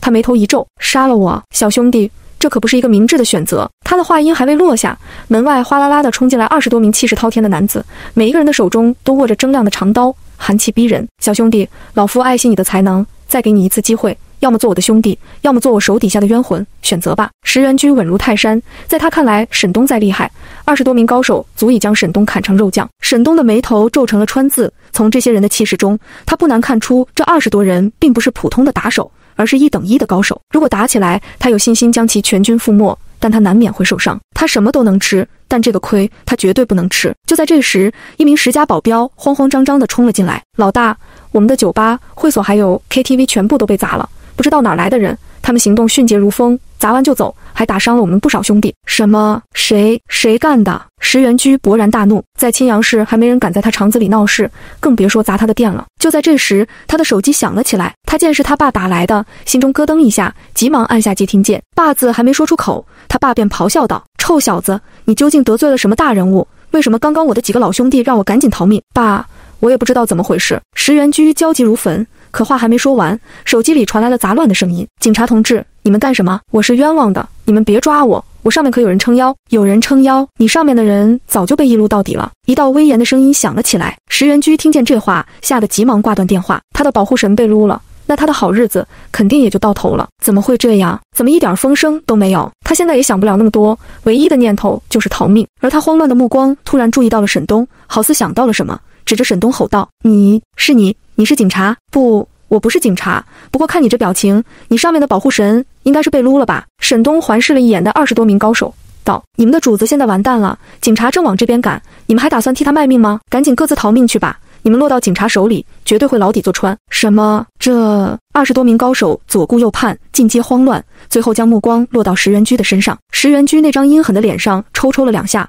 随即深吸了一口气：“小兄弟。”你究竟是何方神圣？放我一马如何？你不是想要我的财富吗？我都给你，如何？沈东想都没想，便摇头拒绝道：“不好意思，不是我不放过你，是你手底下的冤魂实在是太多，不能放。当真不放？你觉得我是在开玩笑吗？”沈东正色道：“那你就给我陪葬吧。”石原居冷冽的脸上布满了杀意：“给我杀了他，然后我带着你们逃命，保你们终生荣华富贵。你们当真敢动手？独狼就是你们的下场。”沈东踩着独狼的尸体。霸气依然，同时那股冰封般的杀意蔓延开来，整个别墅内的温度骤降两三度。第十五章，沈东重伤，宋凌霜方寸大乱，你们还愣着干什么？快！快杀了他！石原居面目可憎，眦牙必报的他，哪怕是死，也绝对要拉上沈东垫背。这二十多名高手可不是傻大帽，他们从石原居慌张的表情中隐隐猜测，石原居肯定是要完蛋了，所以他们一时间也拿不定主意，是该跑还是该继续效忠石原居。沈东见状，悬到嗓子眼的心总算是落下来一半。眼下这种情况，正是他想看见的。他脚下一震，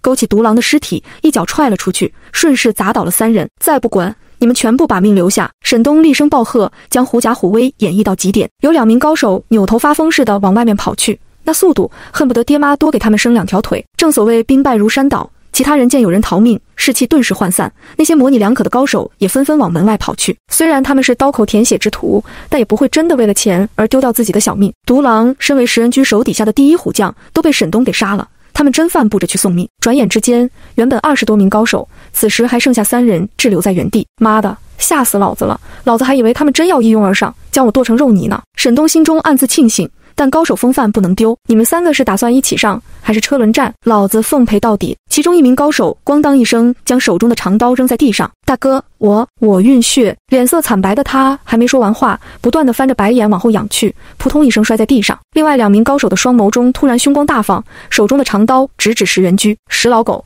当初我们兄弟俩归顺你，本就是迫不得已。今天我们俩就为当初惨死在你手底下兄弟们报仇。郑刚。陆华明，你们是要造反吗？石原居脸色阴沉，戾气十足，双手紧紧地握着手中那根镶金拐杖。石老狗，废话不必多说，拿命来吧！两名高手握着长刀，杀气腾腾地向石原居砍了过去。爸，小心！瘫在地上的石荣没料到手底下的人居然会造反，吓得大惊失色。石原居不愧为老江湖，面对两柄长刀的突袭，他的脸上竟没有丝毫的慌张。就在两柄长刀抵达面门之时，他手中的镶金拐杖突然一抖。咻的一声，竟从拐杖内拔出一柄泛着森森寒光的利剑，利剑犹如灵蛇一般在空中挥舞，在他面前形成一道屏障，逼退了两名高手。哟，起内讧了！沈东眉梢一喜，恨不得手里有一把瓜子，一边嗑着瓜子，一边看好戏。石原居的剑法超群，哪怕是两名高手的连攻，愣是没有逼近他身体半分。数招之后，两名高手的身上皆已负伤，而石原居犹如一名剑道宗师，从容淡定。就凭你们！也想要我的命！两名高手往后退了两步，互视了一眼后，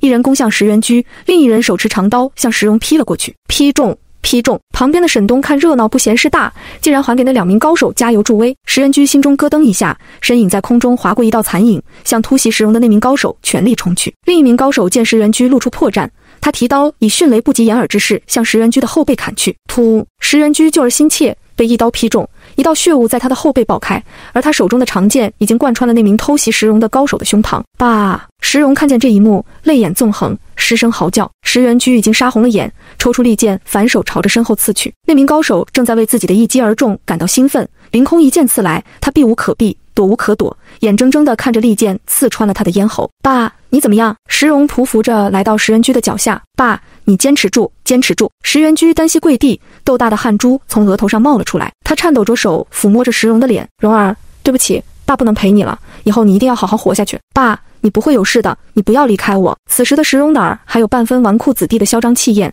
已经浑然哭成了一个泪人。就在这时，外面响起了密密麻麻的脚步声和暴喝声：“警察，别动，趴下，双手抱头！儿子，我不能落在他们的手里。我英雄一世，我的生死。”必须要由我自己来掌控。石原居一手紧紧地握着石荣的手，你好好活下去。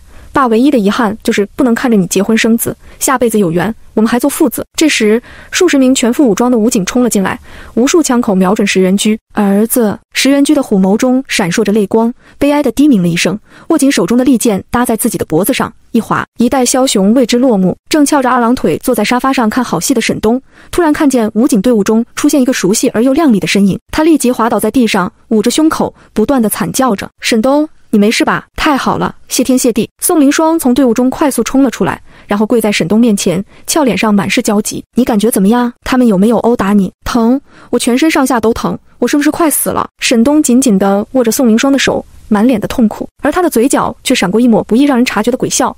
同时，他的脑袋还努力地向宋凌霜那双白皙的大腿靠了过去。你快让我检查一下，我帮你止血。宋凌霜挽了挽耳发，面容焦急，伸手想要扒开沈东蜷缩的身体。不用。沈东摇着脑袋，借机将脸在宋凌霜的腿上蹭着。就让我死吧，能死在你这位大美女的怀里是我的福分。我好冷，抱紧我好吗？沈东。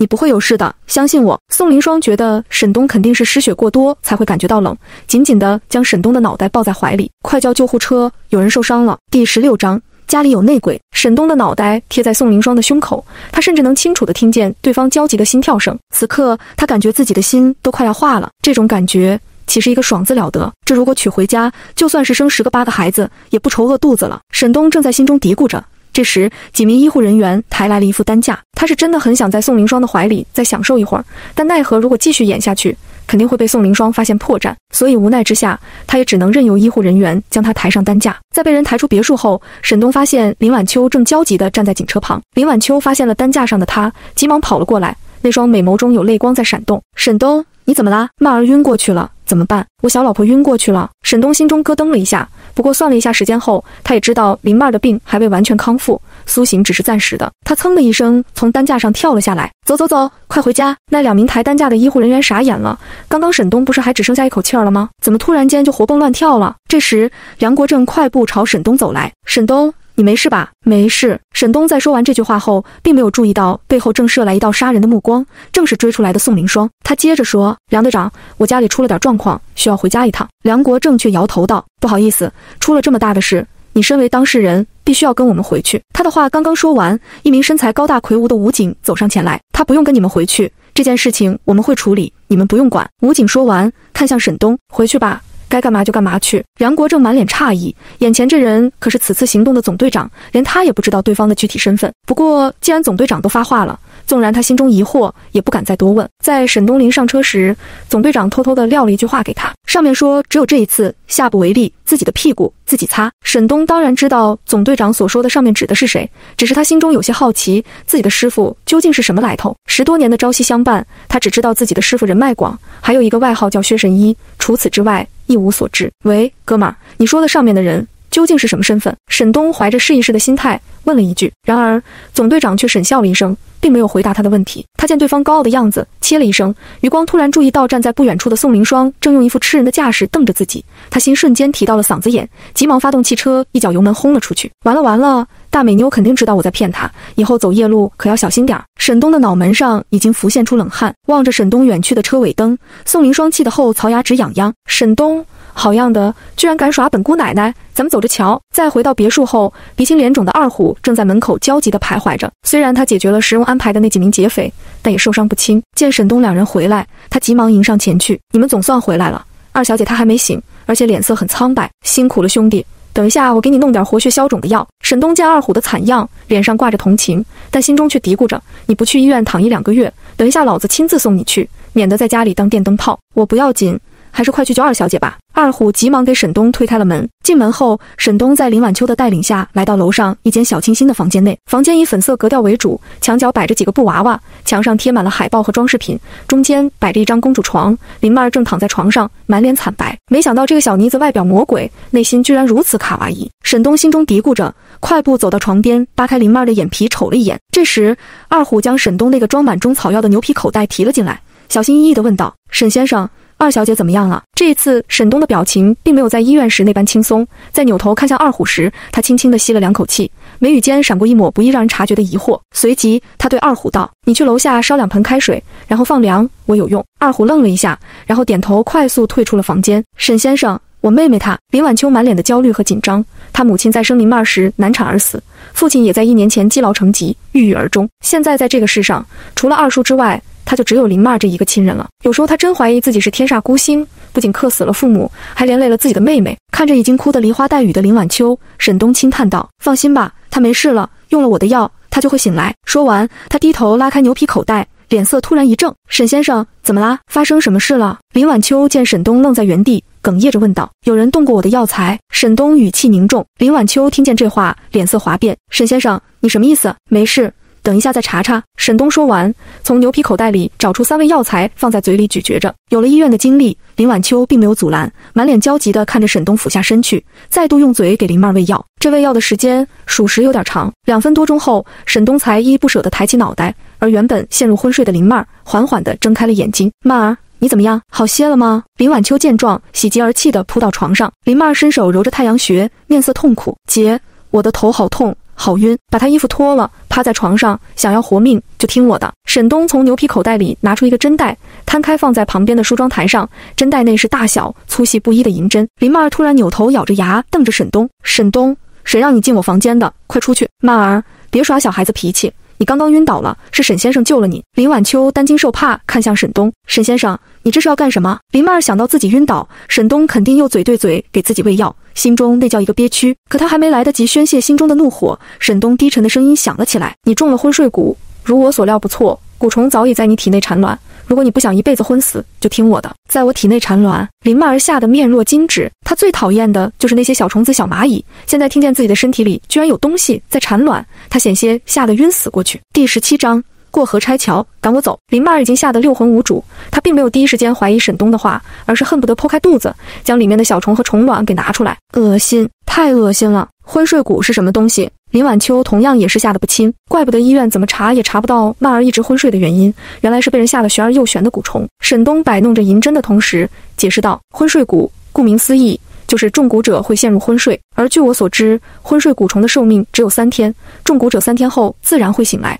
如果我所料不错，每隔三天就会有人给你妹妹下蛊，又或者你妹妹体内的昏睡蛊乃是蛊母，每隔三天产卵一次，从而让你妹妹永远昏睡下去。听见这话，兄妹俩皆是一脸惨白。林曼儿在医院里住的可是特护病房，除了亲近之人外，没有人探望过。如此说来，这下蛊者肯定是姐妹俩身边最亲近的人。难道是我二叔？林晚秋突然说出了一句连他自己都不相信的话。沈东摇了摇头：“如果真是你二叔下的蛊，他就不会费尽心思请我前来。”听见这个分析，林晚秋悬到嗓子眼的心总算是落了下来。他身边的亲人只有这两个，如果再遭受亲人的背叛，他真担心自己会崩溃。难道是医院里的医生，亦或是赵志鹏？他追求我无果，怀恨在心。林晚秋瘫坐在床上，如同泄了气的皮球，满脸颓靡。还是先把你妹妹体内的蛊虫驱除出来吧，然后再去找罪魁祸首。沈东刚说完，还没等他动手，林曼儿就主动的将身上的衣物褪去。他见状，轻轻咳嗽一声，表情有些不自然，道：“内衣不用解。”就这样趴着，有便宜不占王八蛋，这是沈东的做人做事准则。但奈何今天受的刺激实在是太多，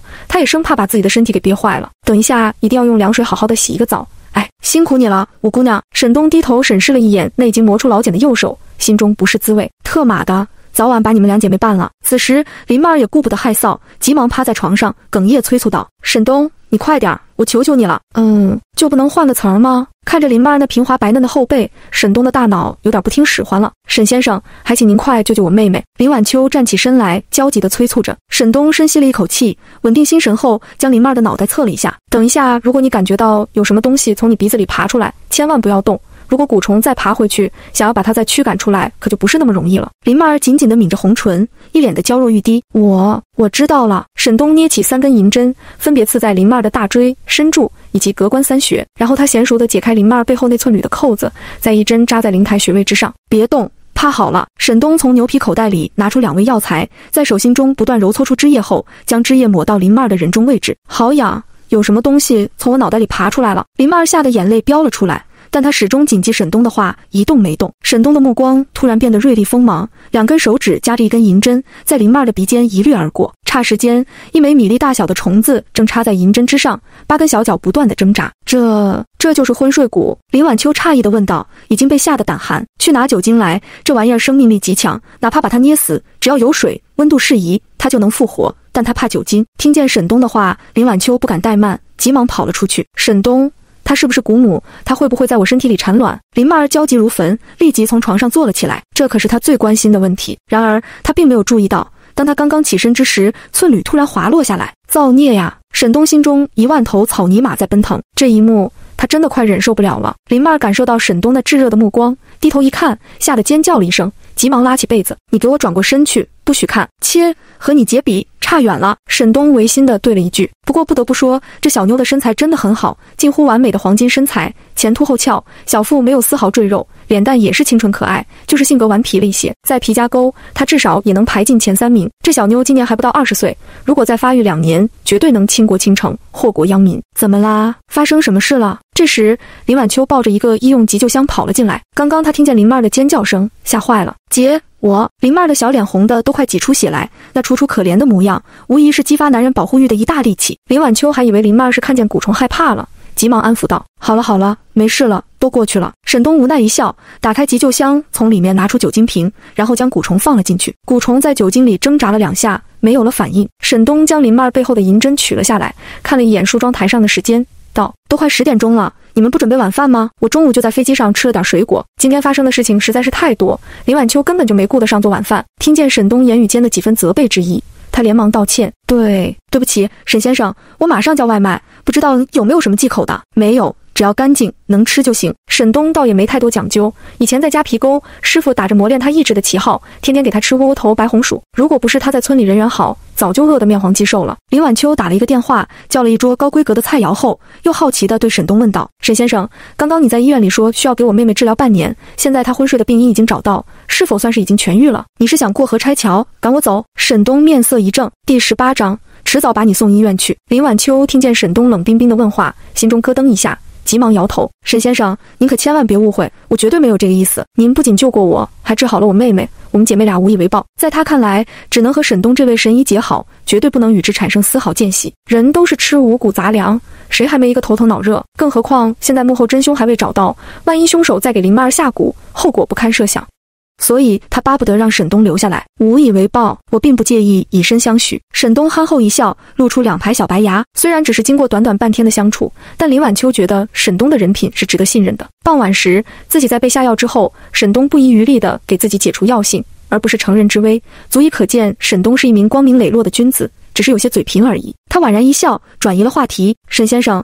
我能存一下你的电话号码吗？以后你就在我家里住下，衣食住行和酬劳我会一分不少的给你。仅从沈东先后救过他和曼儿这两件事情，就算让他养沈东一辈子，他也愿意。沈东自然是巴不得住下来，毕竟这繁华的大都市和夹皮沟相比，只要是他稍微有点脑子，都会选择前者。更何况这里还有两朵姐妹花日夜相伴。然而，就在沈东掏出他那款诺基亚棒棒机时，他的脸色突然变得凝重起来。在棒棒机的手机屏幕上，正闪烁着几枚红点。沈先生，我说一下你的电话号码可以吗？我给你打过去。林晚秋见沈东握着手机发呆，好奇地问道。沈东抬头看了一眼林晚秋，然后目光在房间内搜索起来，同时做了一个嘘声的动作，稍轻。他跪了下去，在公主床的床底寻找起来。身无寸缕的林曼儿见沈东怪异的举动，刚要低声呵斥沈东不要待在他的房间，沈东却从床底找出一个拇指大小、类似于七号电池的东西——窃听器。林晚秋看见这个东西，下意识地喊了出来，然后他紧紧地捂着嘴巴。满脸不可思议，林曼儿的房间里居然出现了窃听器，幸好不是摄像头，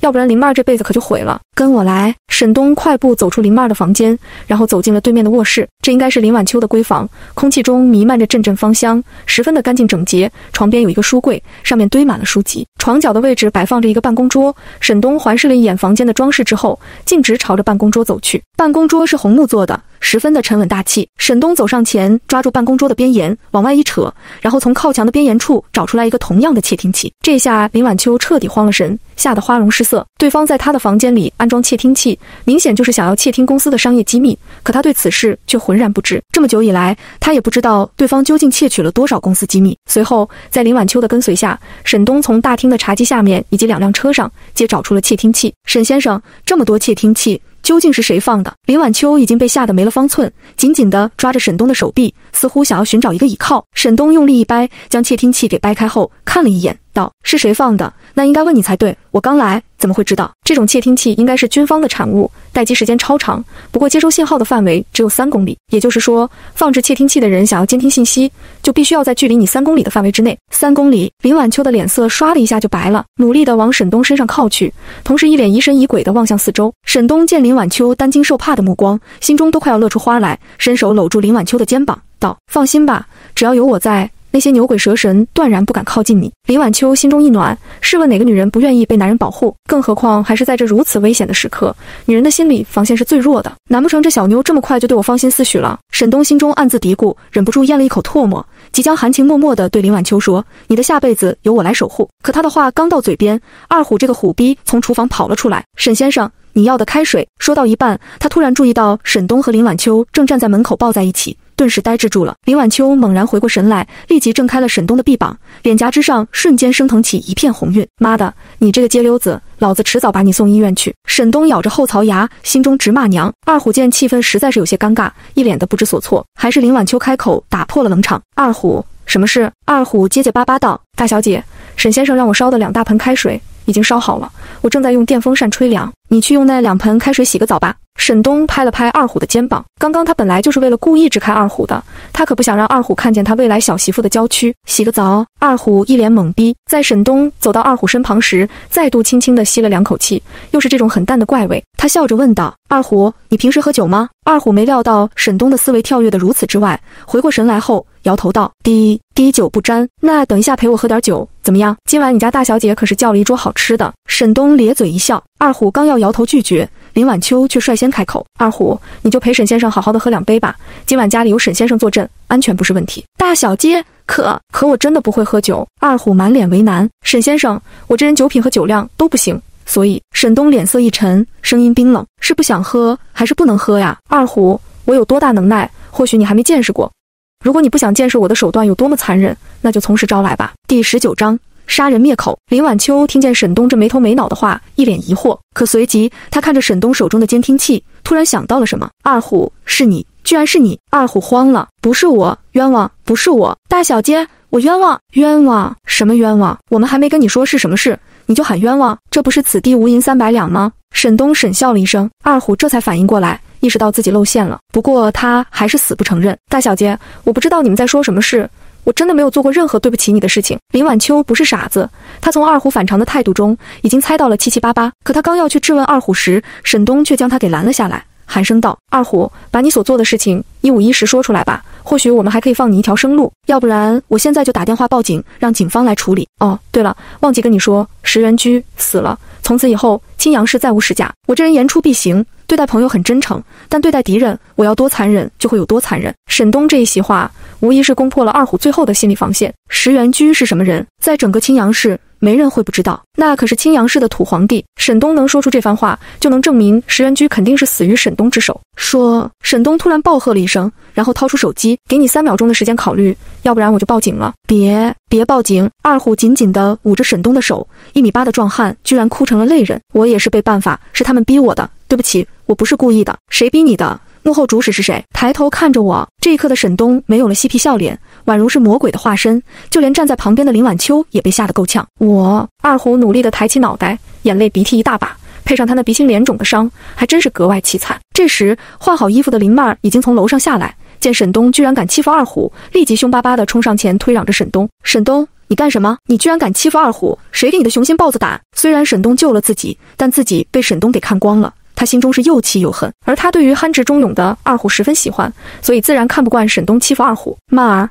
你别胡闹！林晚秋是一个明事理的人，他一把将曼儿拉了过来，低沉呵斥了一句。不明真相的林曼儿刚要说话，二虎再度哭诉道：“二小姐，对不起，是我害了你。你不喝酒，是因为你知道古母虽然生命力强悍，但最怕酒精，对吗？古母在什么地方？是不是在你房间里？”沈东蹲下身，虎眸直视着二虎的眼睛。古母，林曼儿呆滞住了。脸色一阵惨白，他没想到害自己的人居然是自己最信任的保镖。在我房间的床下面，是他们逼我的，我不是故意的。二虎砰砰砰地往地上磕着响头，几下的功夫，脑袋已经是一片血红。沈东拿了两条茶几上捆绑礼盒的绳子，给二虎的手脚捆住后，走进了二虎的房间。二虎的房间就是楼下的保姆房，姐妹俩再怎么信任他，也不可能让他住在楼上，毕竟他是一个男人。很快，沈东就从他的房间内拿出一个玉瓶，递上前问道。这里面就是古母。二虎将脑袋死死地磕在地上，抽噎着说：“对，是的，二虎，我对你那么信任，你为什么要害我？为什么？难道是我们给你的工资不够高吗？你这个叛徒，我要将你千刀万剐！”林曼儿对二虎有多么的信任，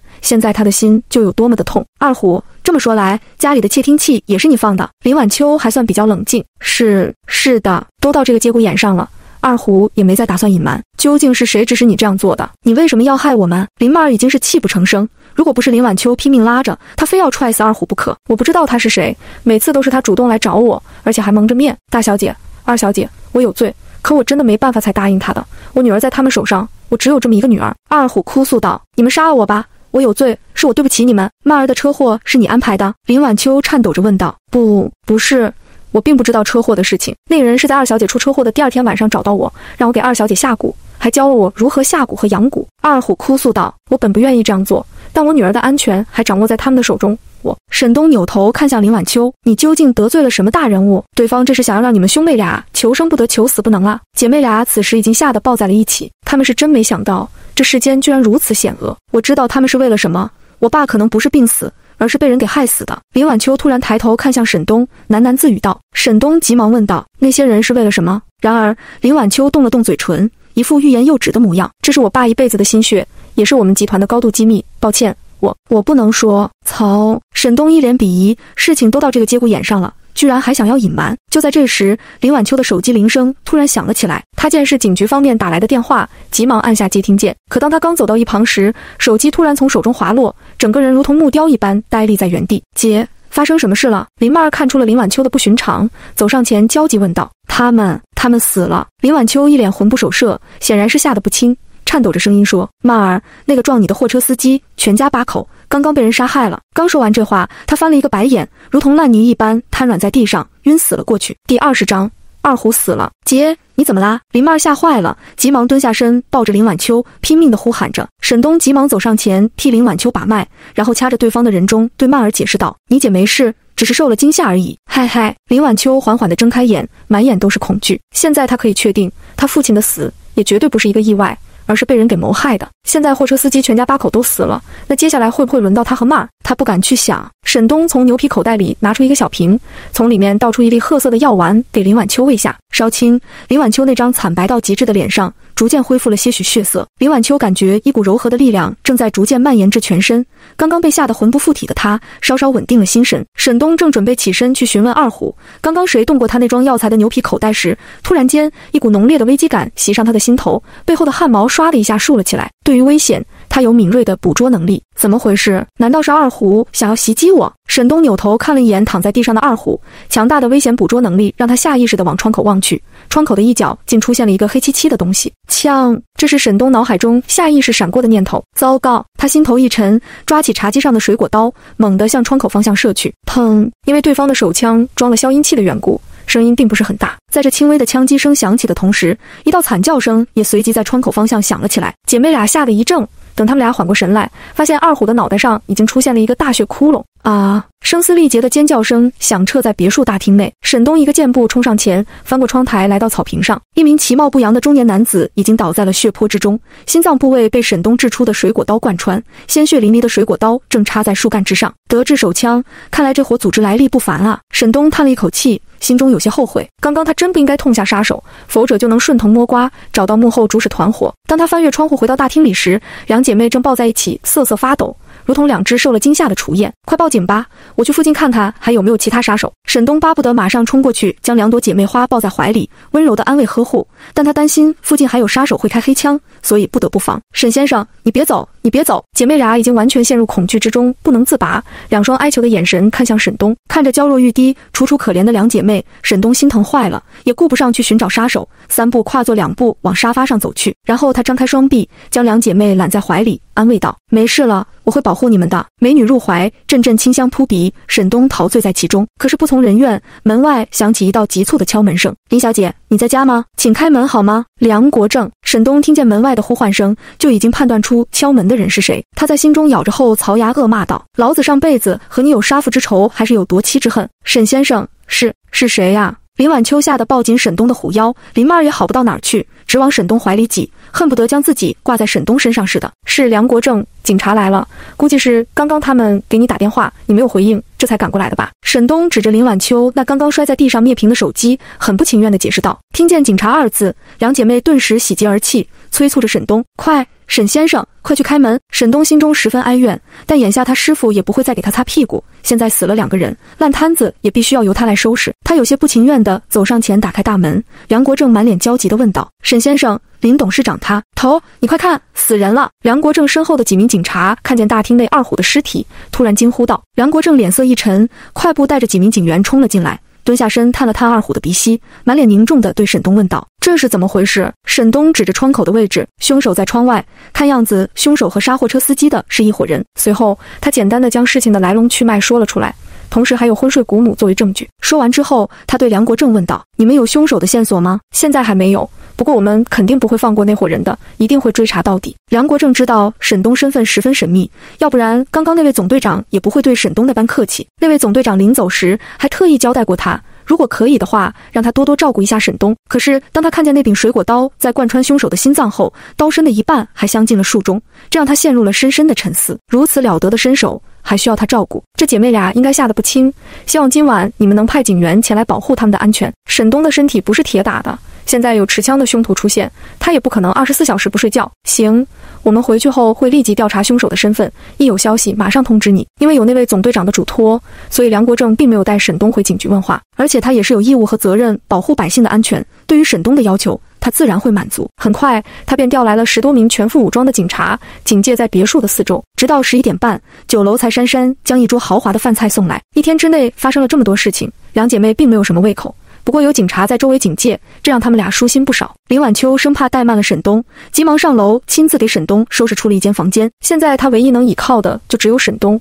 如果沈东离开了，那他很有可能会崩溃。虽然刚刚别墅里刚死了两人，但并没有影响沈东的胃口。坐在餐桌前大快朵颐，吃的那叫一个香。第二十一章初吻之仇。在独自吃完晚饭后，已经快凌晨了。沈东满意的打了一个饱嗝，扶着圆鼓鼓的肚子上楼洗一个澡。睡觉，这一天也太累了。沈东嘀咕着，推开林晚秋旁边的一间卧室门，房间已经被林晚秋收拾了出来，十分的干净，除了一张席梦思之外，电脑、空调等电器设备一应俱全。这可比夹皮沟的草垛床舒服多了。躺在舒适的床上，酒足饭饱的沈东连洗澡的心思都没了，眼皮如同千钧般沉重，睡了过去。发生了那么大的事情，两姐妹昨晚自然是睡在一起，但还是担惊受怕了一夜。直到天蒙蒙亮，林曼儿才睡去，而林晚秋算是一夜没睡。当太阳的第一缕阳光照射进屋内，她揉了揉红肿的熊猫眼，翻身下床洗了一把脸。虽然二虎死了，还牵扯出了幕后真凶，以后的日子算是危机四伏，但生活还是要继续。她在换好一套职业装之后，刚下楼就闻见阵阵饭菜的香味，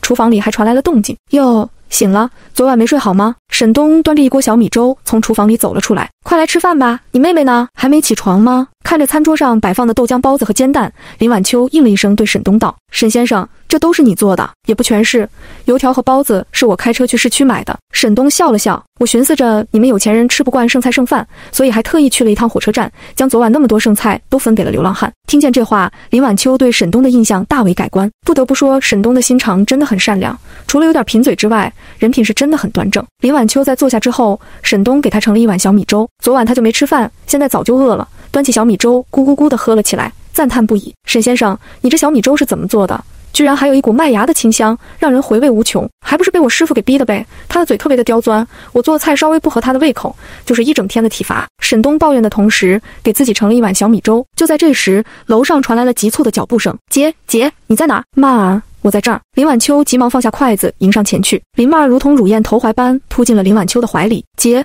我好怕，醒来你不在我身边。”曼儿。没事了，外面很多警察保护我们，我们很安全。林晚秋将曼儿抱在怀里，安慰了好一阵，曼儿的情绪这才恢复正常。好了，快吃饭吧，吃饭完陪我去公司，你去我办公室的隔间里补补觉。林晚秋还真不放心将曼儿独自放在家里，上次曼儿发生车祸就已经让他提心吊胆了。曼儿的情绪逐渐平静，漫不经心地吃着早餐。哇，这小米粥怎么这么香？姐，你的厨艺见长了。曼儿是真的饿了。喝完一碗小米粥，又主动盛上一碗。林晚秋笑了笑，这可是沈先生一大早起来熬的，你还不快谢谢沈先生？林曼抬起头，正好与沈东那不正经的目光对视在一起，然后立即撇过头去。初吻之仇，他还记在心中。不过昨晚发生了那么多事，他也没像之前那般记恨沈东。可他也不知道今后该如何去面对沈东。就在这时，一名警员走进别墅大厅内，林董事长，外面有一个叫赵志鹏的人要见你。赵志鹏，他这只苍蝇来干什么？不见。把他赶走！林曼儿凶巴巴地喝了一声。那名警员的心中十分不是滋味。他虽然是奉命前来保护林家两位小姐，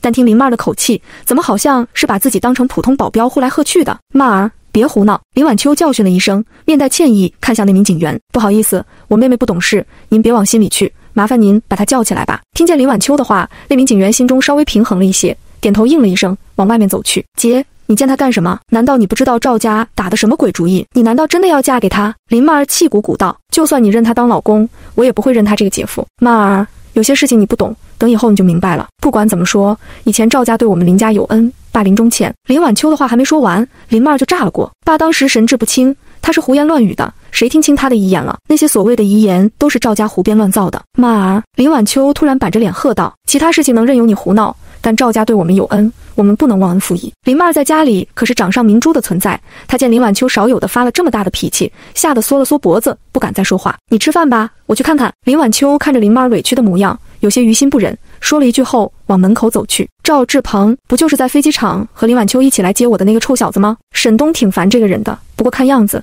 林家和赵家之间是有什么渊源。喂。你瞎琢磨什么呢？林曼儿突然低声冲陷入沉思的沈东吼了一声。沈东抬起头看了林曼儿一眼，撇了撇嘴，道：“我不叫魏，就算你不叫我一声恩公，叫我一声哥也不委屈你吧？你林曼儿气不打一处来，但她顿了一下，突然语气一转，凑上前来，沈东，给你商量一件事情，怎么样？坦白说，像林曼儿这样的野丫头和野马没什么区别，但沈东有降服之道，那就是不能惯着，有屁就放，没屁就闭嘴。沈东，你怎么能这么跟本小姐说话呢？你可是我们家的员工，你拿了那么高的工资，就不能好好说话吗？林曼儿的小脸气得鼓了起来。奶凶奶凶的模样，差点将沈东给逗乐了。沈东欲擒故纵道：“那我走行了吧？这高工资可是会要人命的。以后别人再给你的身体里下蛊，你可别来找我。”听见“下蛊”二字，林曼儿吓坏了，一把拉住沈东的手，撒娇道：“沈东哥哥，我开玩笑的。”你别当真行吗？切，老子连猛虎雄狮都能驯服，还治不了你这个小丫头了。沈东心中嘀咕着，坏笑道：“你刚刚叫我什么？再叫一遍来听听。你别得寸进尺。嗯，不叫沈沈东哥哥，好哥哥。”林曼露出一个比哭还难看的笑容。她这辈子就没这么憋屈过。但谁让自己有把柄在对方的手中呢？她也只能战术性的暂时屈于人下。这一下。沈东心中舒坦了，你是不是想让我帮你对付赵志鹏？对对对，林曼儿点头如捣蒜。等一下，如果你能把赵志鹏那个龟蛋给赶走，以后我对你俯首称臣，初吻之仇我也不计较了。第二十二章，沈东姐夫。沈东没料到这小丫头片子这般记仇，心中苦笑连连。随即他坏笑着问道：“我抽他一巴掌给你解气，你再让我亲一下，怎么样？”林曼儿听见前半句话，眉梢一喜，可当他听完后半句话后，那张俏脸都快拧成褶子了。沈东。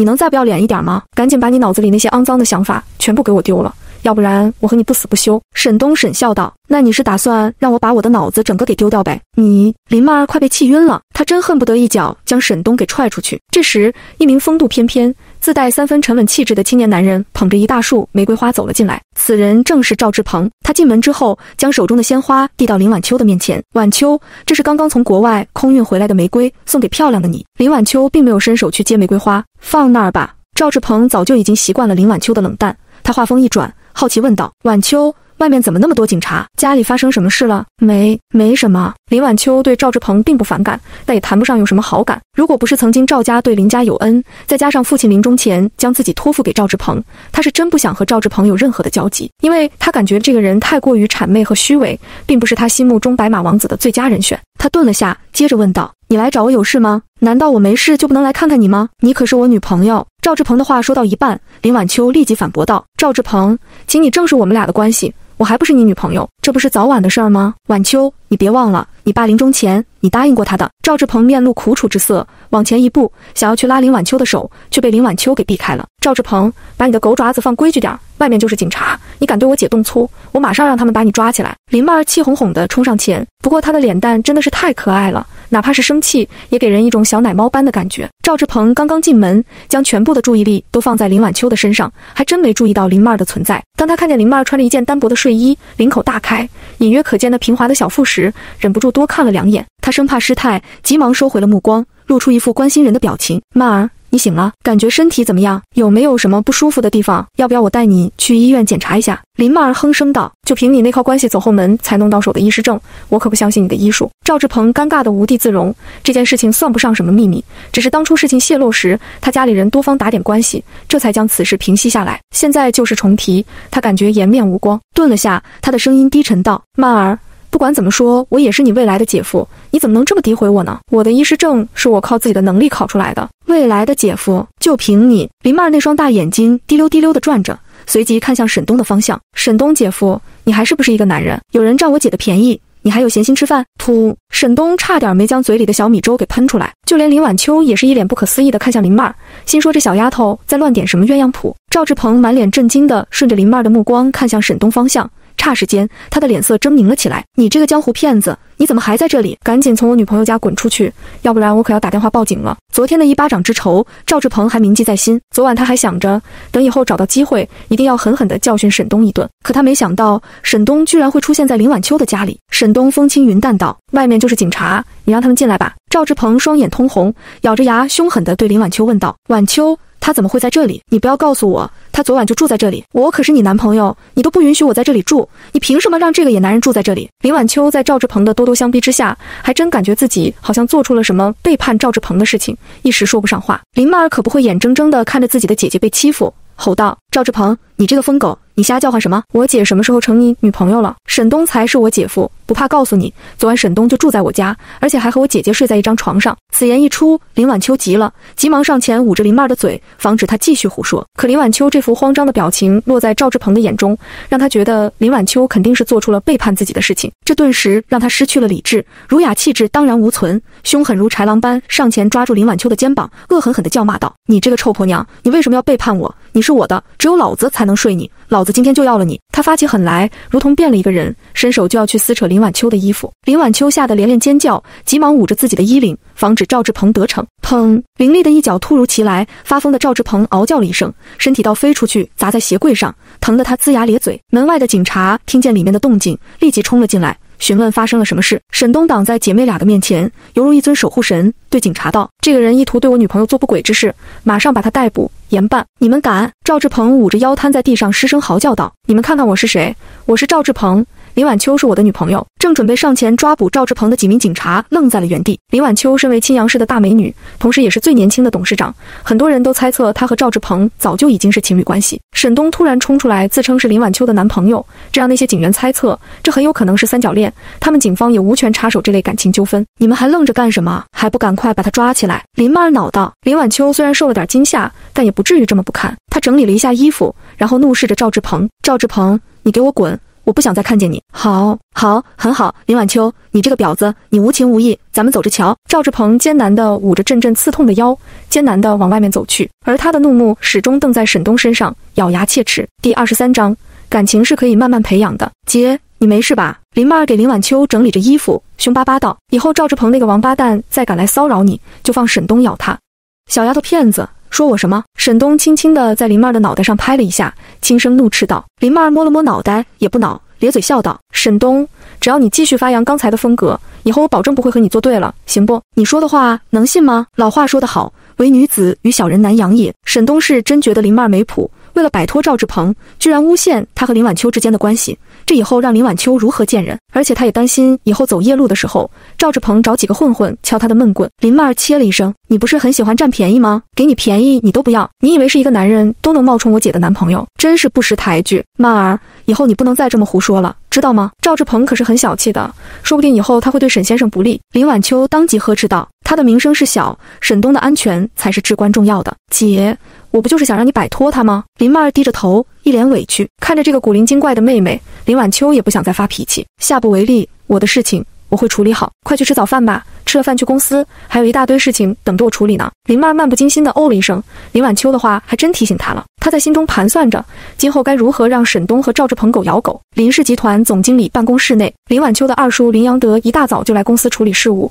忙得焦头烂额。林晚秋从他父亲手中接手集团已经一年有余。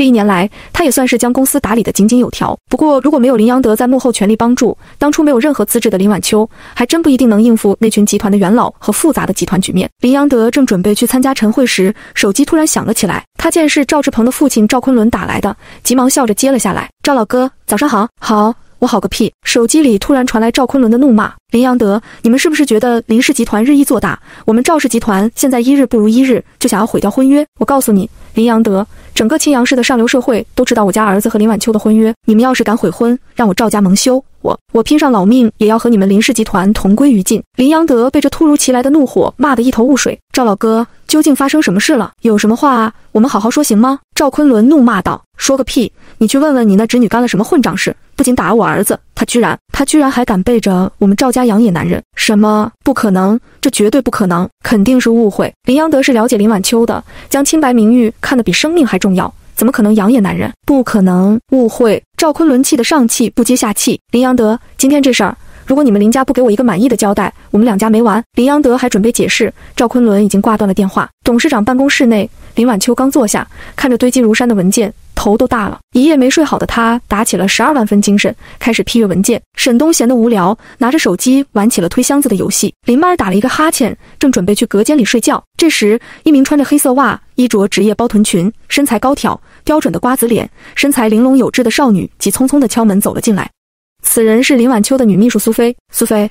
你找我什么事？林晚秋抬头问道。苏菲的脸色有些焦急。董事长，林总让您过去一趟，他脸色不太好看，好像出了什么事儿。好，我马上过去。虽然林晚秋是集团董事长，林阳德只不过是一个总经理，但林阳德毕竟是他二叔，所以他自然不会摆架子，跟着苏菲离开了办公室。就知道偷窥人家的屁股，恶心。林曼儿见沈东的眼睛都快贴到苏菲的翘臀上了，颐指气使骂了一句。沈东翻了一个白眼：“曼儿小姐，你这话说的不对吧？你不偷窥我？”怎么知道我偷窥别人呢？难道你偷窥我就不恶心吗？你我林曼儿被对得哑口无言。苏菲，沈东喃喃嘀咕着，这名字怎么这么耳熟？好像在哪儿听过。那个小妞该不会是我们家皮沟的吧？你这个大男人能不能再恶心一点？林曼儿气得满脸涨红。沈东猛然拍了一下脑门。苏菲，卫生巾，以前小花还让我给她买过。无耻！林曼儿撂下一句话，砰的一声将隔间门给砸上。总经理办公室内，林晚秋推门走了进来。二叔。你找我？林阳德正夹着一颗烟，吞云吐雾，满脸烦躁。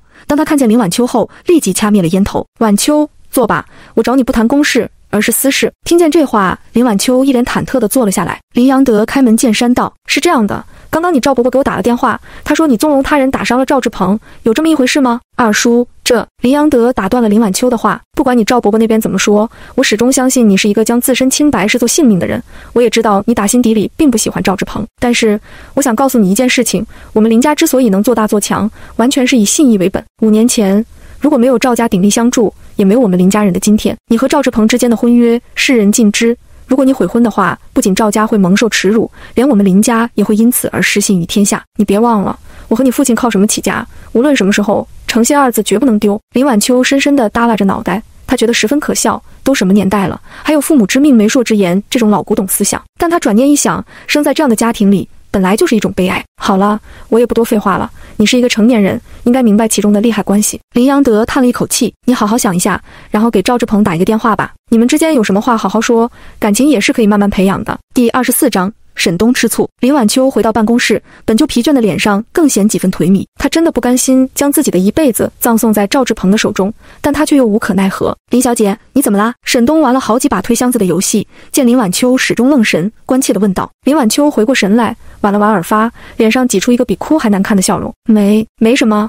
沈先生，以后你直接叫我名字就可以了。林小姐这个称呼未免太生分了一些。不行，姐，他凭什么可以叫你的名字？林曼儿突然从隔间内冲了出来。对沈东气哄哄地说：“主仆有别的道理，难道你不懂吗？”主仆，沈东眉头拧了起来。曼儿，你瞎说什么？沈先生是我们俩的救命恩人，以后不许你这样对他说话，快道歉。林晚秋生气的样子还真是威严十足。林曼儿一脸不服气，扭过头去哼了一声。撅嘴嘀咕道：“土包子也配让本小姐道歉？”看着从小被娇惯坏的妹妹，林晚秋一脸的无奈。母亲早逝，早年间父亲忙于工作，对林曼疏于管教，这才让她无法无天，目无尊长。林晚秋扭头面带歉意看向沈东：“我妹妹还小，您不要往心里去。”我替他向您道歉。说完这话，他快速转移话题，生怕林曼儿再对沈东出言不逊。沈先生，现在你也没什么事情，要不去买两套合适的衣服吧？沈东的身上还穿着在夹皮沟干活时的胶鞋和短袖，全身装束加起来也不超过五十，头发乱得像一个鸡窝。他打了一个哈欠，点头道：“行。”原本他打算此行捞点钱，存起来以后娶媳妇、买房、买车，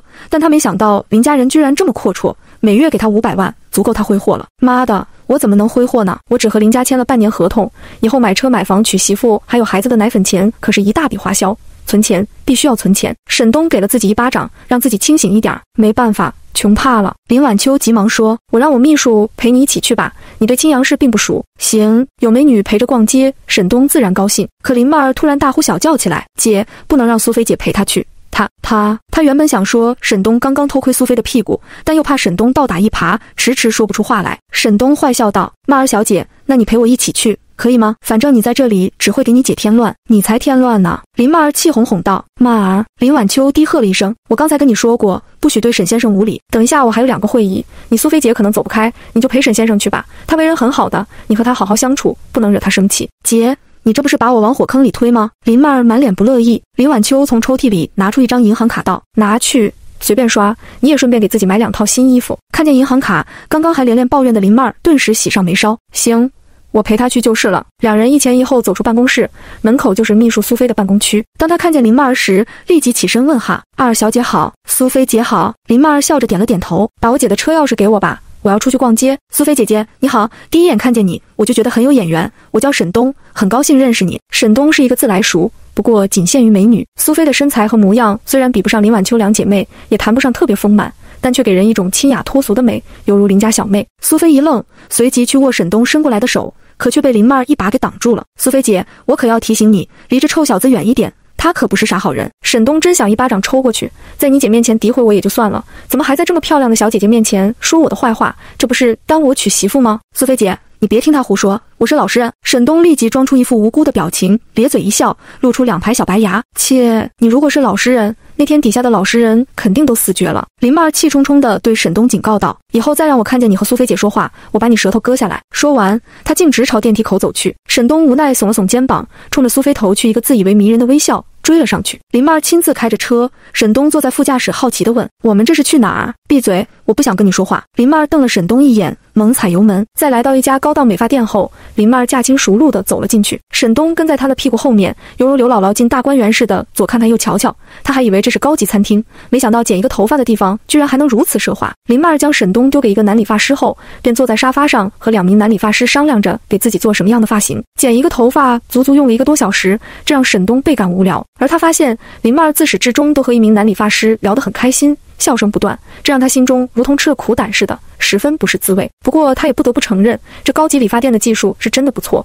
原本林妹儿就长着一张可爱的脸，配上空气刘海发型，宛如真的是九天之上的仙女下凡，给人一种惊心动魄的美。近三个小时后，两人这才从理发店里出来。林妹儿开着车，余光不断瞥向沈东，偷偷摸摸的表情甚是滑稽。你看我干什么？想到刚刚林妹儿和那名男理发师聊得那么开心，他的心中颇有些不爽。本小姐看你，那是你的福气。林妹儿对了一句。心中却在质疑自己的眼睛。坐在自己旁边的这个人真的是沈东？怎么突然变得这么帅？难道真的是发型的缘故？那张脸不仅白净了不少，而且有棱有角，犹如刀砍斧凿一般。第二十五章，对我就是彭于晏。你刚刚为什么和那个男理发师聊得那么开心？我又没得罪你，你就不能像对待他们一样，给我一点好脸吗？沈东心中酸溜溜的，如同喝了一大瓶陈醋。林曼儿哼声道：“我和谁说话，你管得着吗？人家不仅长得帅，还有肌肉。”你有吗？沈东忍俊不禁的打了一个冷战。就他还帅，长得跟娘娘腔似的，那兰花指翘的，我都骚得慌。不许你这么说他，你也有肌肉，拿出来我看看。林曼突然一脚刹车踩到底，凶巴巴的转头瞪向沈东。这孤男寡女的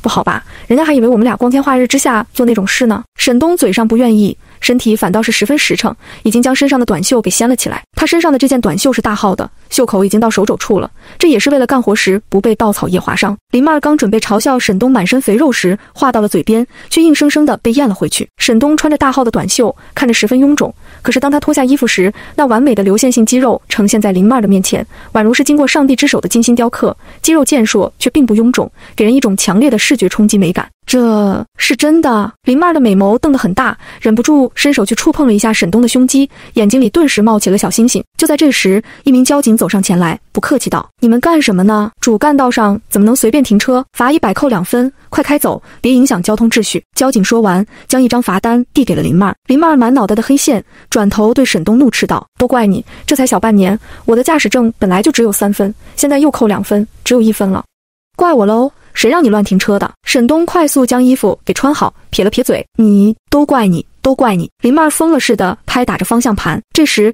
刚离开的交警又折返了回来：“你们还走不走？不走，最后一分也给你扣了。”林曼不敢耽搁，急忙踩着油门疾驰而去。嘴上还在不断抱怨沈东没事练什么肌肉，练就练吧，还练得那么好看。十多分钟后，两人来到商贸中心，林妹乘坐电梯来到六楼的奢侈品区，然后如同一只挣脱了链子的小狗，撒欢似的在各个奢侈品店内游荡。反正有人买单，沈东也没客气，径直朝着一家男装店走去。可因为他穿的衣服实在是太过于寒酸，一名四十多岁的导购员将他给拦在了门口，一脸嫌弃地冲着他挥手道：“去去去，要饭的倒别出去。”这里没钱施舍给你，要饭的沈东脸色一正，这年头要饭的能有他这么帅吗？正在隔壁店内挑选衣服的林妹儿听见这话，气势汹汹的就冲了过来，对导购员厉声嚷道：“你刚刚说什么？把你说的话再给我说一遍！打狗还要看主人呢，你眼瞎吗？没看见他是和我一起上来的？把你们经理叫来！”沈东满脸阴沉，这话他怎么越听越不对劲儿？林妹儿可是这里的常客，中年导购员一眼就将他认了出来，满脸惶恐，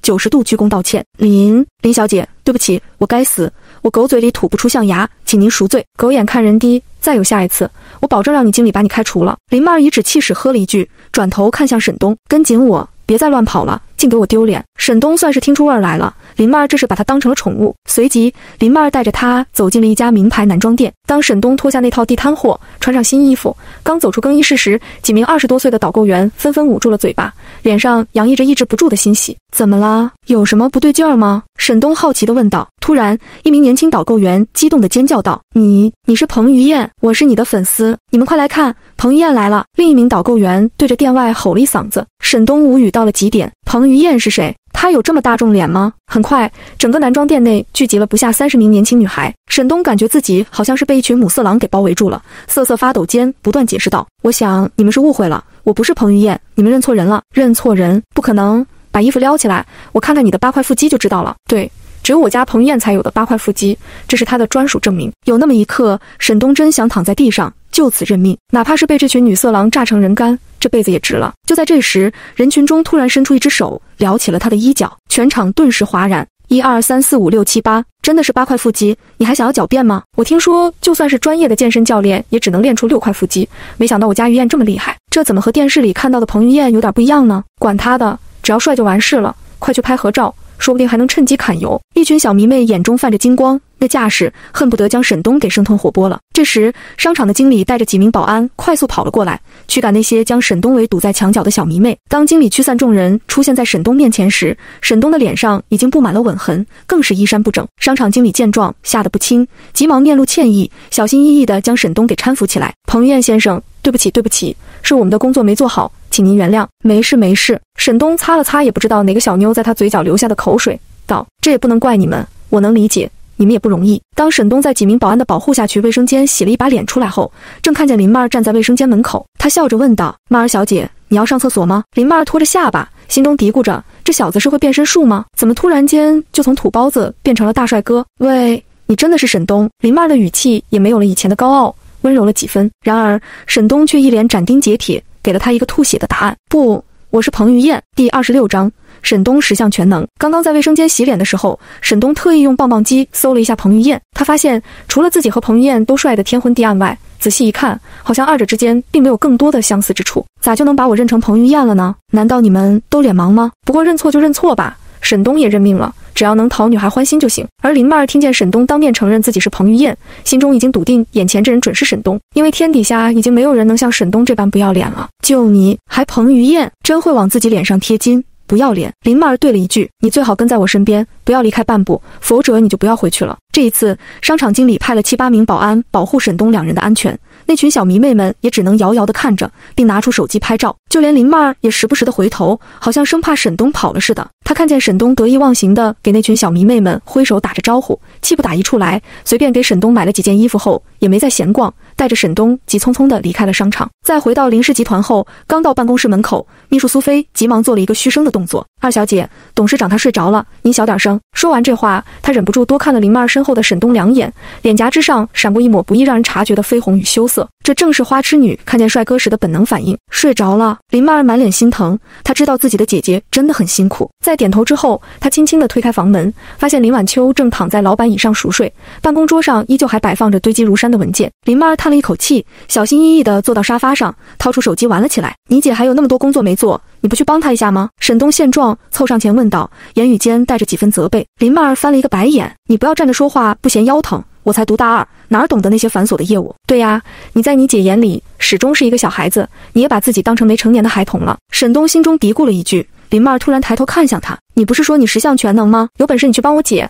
你不要以为长得帅就能当饭吃。”这时，苏菲推门走了进来，面容局促：“二小姐，有好几份文件是急需要用的，现在董事长在睡觉，怎么办？难道叫醒他吗？”这林曼儿一时间犯了难，手足无措。沈东叹了一口气：“他在他师傅那儿学的可不只有医术、天文地理、诗词歌赋，还曾经被他师傅安排去军队学习过一段时间，战术、商业、金融等知识也学过。”只是一直没排得上用场而已。怜香惜玉的他见不得美女受苦，便开口道：“要不我试试吧，苏菲姐姐，你在旁边辅助我一下就行。毕竟我对你们公司的发展格局和趋势并不了解。你少在这儿给我装大尾巴狼了。”林曼知道沈东肯定又在装逼，阴阳怪气喝道：“你要是能帮我姐把那些工作全部都做完，我你就怎样，吃屎还是倒立拉稀？沈东一副胸有成竹的架势，瞪着林曼儿。林曼儿还不知道自己中了沈东的激将法，气得浑身发抖。我那我就穿裙子倒立给你看，给我看，想占我便宜？你才想得美！沈东翻了一个白眼，转身往办公桌方向走去。林曼儿气得咬牙切齿。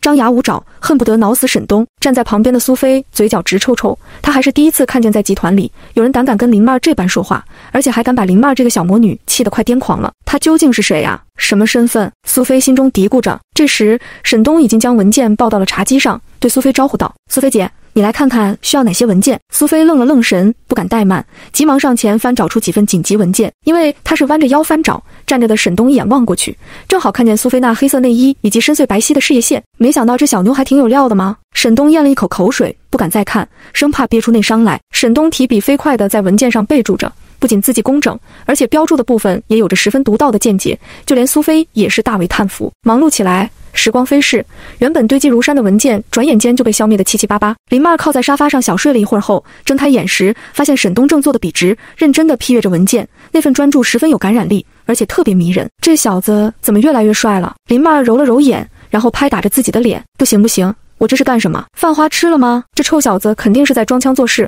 等一下我姐醒来，看他怎么收拾你。就在这时，他的耳边响起了轻微的脚步声。他扭头一看，发现林晚秋已经醒了，正往他这边走来。姐，你醒了？林曼儿轻声喊了一句。林晚秋看着正在批阅文件的沈东，好奇地对林曼儿问道：“他是谁呀？”林曼儿撅着嘴解释道：“姐，你不会睡糊涂了吧？他是沈东啊。”沈东。林晚秋扭头看了一眼，然后又擦了擦自己的眼睛，低头凑到林曼儿耳边嘀咕道。他不是一个土包子吗？怎么突然间变得这么帅了？林曼儿斜眼瞪着林晚秋，姐，你是犯花痴了吗？鬼知道这家伙的颜值忽高忽低的，我只是带他去做了一个头发，洗了一个脸，顺便换了一身衣服而已。果然是人靠衣服马靠鞍。林晚秋会心一笑。这时，沈东已经批阅完最后一份文件，揉了揉有些酸软的脖子，伸了一个懒腰。然后他注意到已经醒了的林晚秋，笑道：“林小姐，你醒了，工作我都给你做完了。”下午你可以好好休息一下，姐，你快看看，这家伙肯定在你文件上描龙画凤，快收拾他！林曼好不容易抓到沈东的把柄，当然不肯放过。林晚秋心中有些埋怨，在他看来，沈东医术很好，但怎么能僭越在他的文件上胡乱批阅呢？毕竟这些文件都是非同小可的。但他也没急着责备沈东，这也只能怪他睡着了，耽误了工作。随即，他走上前，随意拿起一份文件，翻开一眼，只是看了两眼后就呆滞住了。沈先生。这这都是你做的，哈哈！沈东，你摊上大事了！林曼乐得直接从沙发上蹦了起来。姐，快教训他！第二十七章，林氏集团的核心机密。林晚秋并没有理会林曼，而是快速翻找了几份文件查阅，那张俏脸之上的震惊就没消失过。他抬起头，不可思议地看向沈东：“沈先生，这这些方案都是你做的？”沈东淡然一笑：“不相信吗？太完美了。”简直是太完美了！林晚秋不断碎碎叨叨地念叨着：“就算是我父亲和二叔，也没有您这般老辣娴熟有远见。而且这些方案简直是新奇无比，就连我也见所未见，闻所未闻。”旁边的林妹儿感觉自己的下巴都快掉地上去了。原本她还打算看沈东出糗，可怎么现在自己的姐姐反倒成沈东的小迷妹了？沈东挥了挥手，举手之劳而已。不足挂齿，沈先生，如果您不嫌弃的话，我能否应聘你当我的助理？您放心，那五百万的月薪是您给我妹妹当私人医生的费用，助理的费用另算。林晚秋抬起头，目光灼灼地看着沈东，眼睛里直冒小星星。他万万没想到沈东如此大才，如果今后有了沈东的从旁协助，他也不至于那么劳累。董事长的助理可不是秘书，而是集团的核心高级管理人员，虽然没有董事会投票权和股份，但地位也只比林阳德这位总经理低半级而已。姐。这助理的人选你可都找了快一年了，你怎么能随随便便让他来担任呢？他靠谱吗？林曼儿不乐意了，随即对沈东质问道：“你是什么大学毕业的？有工作经验吗？”曼儿，我不是告诉过你？不许对沈先生无礼吗？林晚秋惜才如命，曾经他礼贤下士，想要从其他集团挖人才过来，可始终无果。而且他虽然身为董事长，但新上任不久，在董事会上并没有树立自己的绝对权威，所以急需要壮大自己的阵营，树立自己的威信。在呵斥完林曼儿后，他一脸真诚且恳求地看向沈东：“沈先生，薪酬你随便开，哪怕是业务提成，你想要多少我都给你。这个好说。”沈东一脸挑衅地看了林曼儿一眼。他主要是为了气林妹儿，工资待遇你看着给就行。那行，我马上让苏菲给您办理入职手续。林晚秋喜出望外，有了沈东相助，他觉得自己宛如是得到了诸葛亮，今后肯定能一展自己的抱负。当苏菲从林晚秋口中得知沈东即将担任董事长助理时，一脸的震惊。但震惊之余，他有不难猜测，仅凭刚刚那些文件业务，就能证明沈东是一个有大才的人，肯定能胜任这份工作。晚上八点，当林晚秋结束一天的工作回到家时，梁国正给他打来了电话。经过一天的调查，警方查到杀死二虎的那名歹徒是一个黑户。哪怕在国家机器的档案之中，也查无此人，线索彻底断了。不过，唯一能肯定的是，杀死货车司机一家八口的凶手和杀死二虎的歹徒是同一个组织的人，因为他们用的是同一种子弹。另外，对于二虎的女儿，警方也在极力追查。不过，哪怕是一个普通人都明白，那伙组织的人心狠手辣，二虎的女儿还活着的可能性。几乎为零。为了不引起不必要的社会恐慌，梁国正再三叮嘱林晚秋，最好不要将这件事情外传。最近这段时间内，警方会派遣专人保护林晚秋姐妹俩的安全。不过，哪怕别墅外面有好几名警察，却依旧让姐妹俩的内心七上八下的。两姐妹在公司并没有睡好，吃完晚饭后打着哈欠准备上楼去睡觉。就在这时，林晚秋的手机铃声响了起来。她接起电话说了两句后，脸色骤变，不断的说：“好好，我马上过来，马上过来。”姐。怎么啦？发生什么事了？一脸困倦的林妹儿急忙问道。实验室那边出了状况，我去看看。林晚秋的话还没说完，林妹儿打断了她的话。我也要去。林晚秋苦口婆心劝道。这么晚了，你还是在家里乖乖睡觉吧。我估计要后半夜才能回来，外面有警察，你不必担心安全问题。林妹儿幽怨地瞥了一眼沈东，嘀咕道：“我才不和这家伙单独待在家里呢，万一他对我图谋不轨怎么办？”曼儿，我跟你说过多少次了？不许你对沈先生无礼，快道歉！林晚秋这次是真的生气了，脸色十分的难看。林曼儿吓得够呛，眼眶顿时就红了。我才不给他道歉呢！说完，她气冲冲的就往楼上跑去。林晚秋一脸歉意看向沈东，刚要说话，沈东便罢了罢手。没事，我还不至于那么小气。对了，你刚刚说你要去哪儿？实验室？要不我陪你一起去？这大晚上的，你这么一个大美女出去，谁放心？林晚秋想到现在沈东已经是集团核心管理层，有些机密。沈东迟早会知道，便点头同意了下来。行，你开车吧，争取早点回来。沈先生，你昨天不是问我为什么会有杀手针对我们吗？昨天我不跟你说，是因为这件事情是我们集团的机密，只有集团核心人员知道，并且我们也签署了保密协议。坐在副驾驶上的林晚秋突然提及这件事情，沈东好奇问道：“难道你们是在研究什么强大的武器？不过我们严国好像不允许私人企业研制吧？”被你猜对了一半，林晚秋坦诚不公道。你应该知道，壁虎断掉的尾巴还能再长出来吧？另外，蝾螈、螃蟹的断肢也能在不用任何医疗设备的前提下重新生长并恢复如初。你们打算把这玩意儿用在人的身上？沈东眉头一皱，他本来就是一个医生，知道断掉的肢体在一定情况下快速缝合回去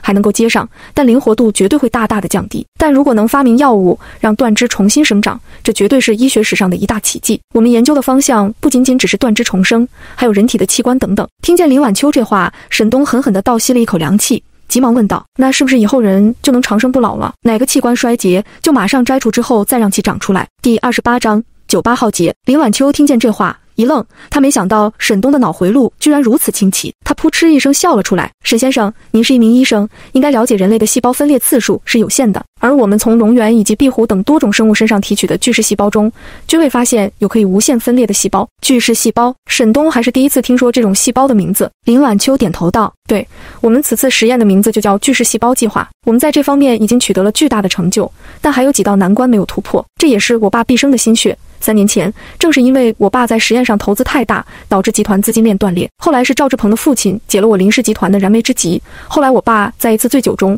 并且还是在我不知情的情况下，当众宣布我和赵志鹏的婚约。说话间，沈东已经开车来到林氏工厂内。这是林氏集团旗下的一家加工厂，占地面积很广，实验室就在这工厂最里面。除了科研人员以及集团最核心人员外，其余人员一律不能进入实验室区域。刚进入实验基地大门，沈东的脸色骤变。林小姐。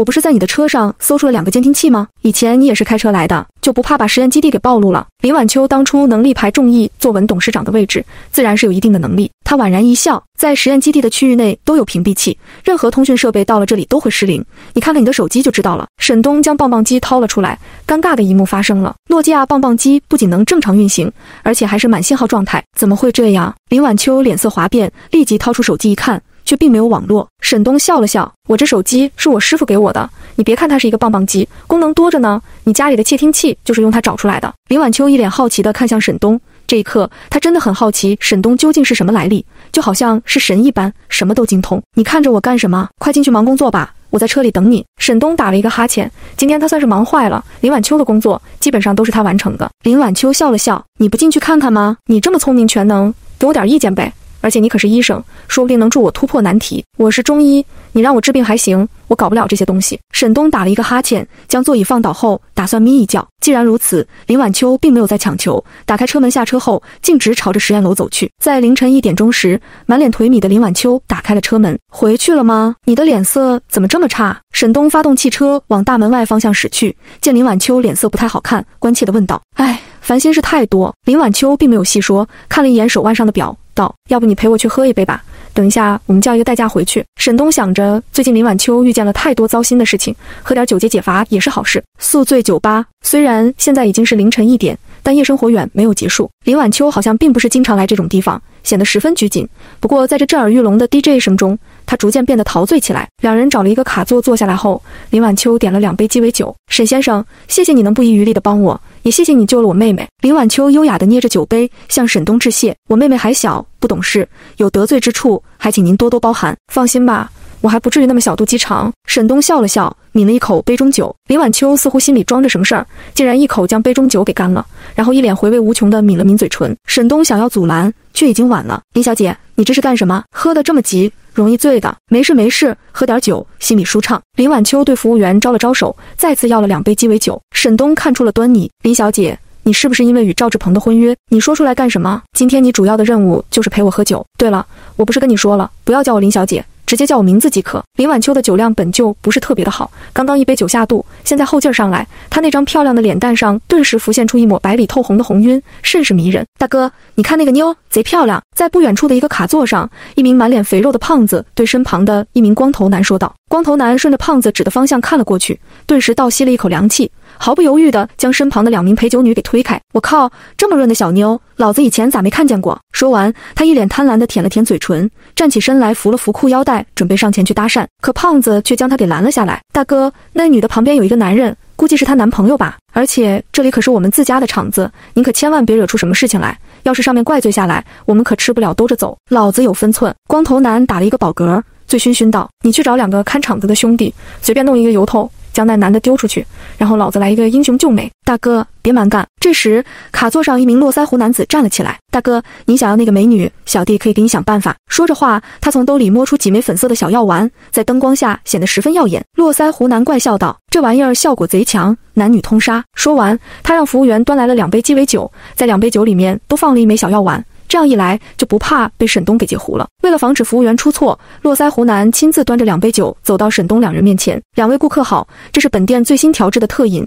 对新老顾客都免费，还请品尝。你们厕所在哪？沈东感觉有些尿急，顺着络腮胡男指的方向走去。第二十九章，牡丹花下死，做鬼也风流。沈东撒完尿回来后，发现林晚秋居然连干了两杯酒，一只手正撑着脑袋，醉眼朦胧，冲着他咧嘴傻笑。你回来了，快快快，来陪我喝酒。今天你把我陪高兴了。我明天给你涨工资。沈东嘴角抽抽了一下，刚坐下，林晚秋就抱着他的手，表情骤变，一脸委屈。沈东，我跟你说，我的命真的好苦，我没有幸福，我不想嫁给赵志鹏那个王八蛋。林小姐，你醉了。沈东看着自己那只被林晚秋紧紧抱在怀里的手臂，心中一阵心猿意马。林晚秋突然打了一个饱嗝。我说过，不许叫我林小姐，叫我。说到此处，他居然将脑袋凑到沈东耳边，哈着热气道：“叫我晚秋，好不好吗？”沈东情不自禁地压了一声。那酸爽简直不要太要命！嘻嘻，林晚秋嬉笑了一声，又端起刚刚服务员才送来的酒就要喝。沈东急忙拦了下来：“林晚秋，你不能再喝了，再喝就真醉了。走吧，我们回家。”林晚秋突然嘟起了小嘴，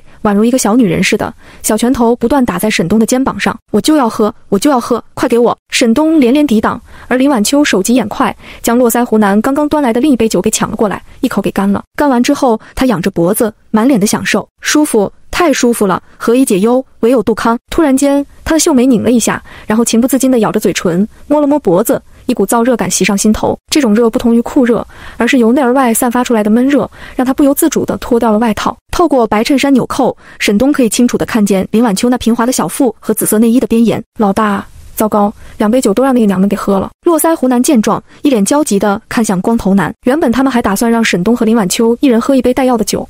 这样一来，两人都会失去理智。妈的，别让那个男的截胡了！光头男骂了一句，随即对络腮胡男和胖子吩咐道：“去找几名看场子的兄弟，在门口给我堵住他们。”明白。胖子两人点了点头，快速起身往酒吧后面走去。此时，林晚秋的双手勾着沈东的脖子，含情脉脉地看着沈东那张帅气阳光的脸，鼻息间喘着热气，一股冲动的想法袭扰在他的心头。沈东也是痴痴地看着近在咫尺的林晚秋，心中跟猫挠似的。不过向来不会乘人之危的他，推了推林晚秋，道：“晚秋。”我们回去吧，你真的喝醉了。然而，就在他刚准备起身时，林晚秋抱着他脖子的手猛地一用力，将他给拉了过去。沈东，你好帅，让我做你的女人好不好？说着话，林晚秋一口咬住了沈东的耳垂，真要了老子的小命！沈东倒吸了一口热气，但仅存的理智却让他察觉到了不对劲儿。林晚秋的表现太过于反常，并不像是喝醉酒的样子，反而像是被人下了圈套。怎么回事？酒。机智如沈东立即端起酒放到鼻子前闻了闻，他发现林晚秋向服务员点的四杯酒都没有问题，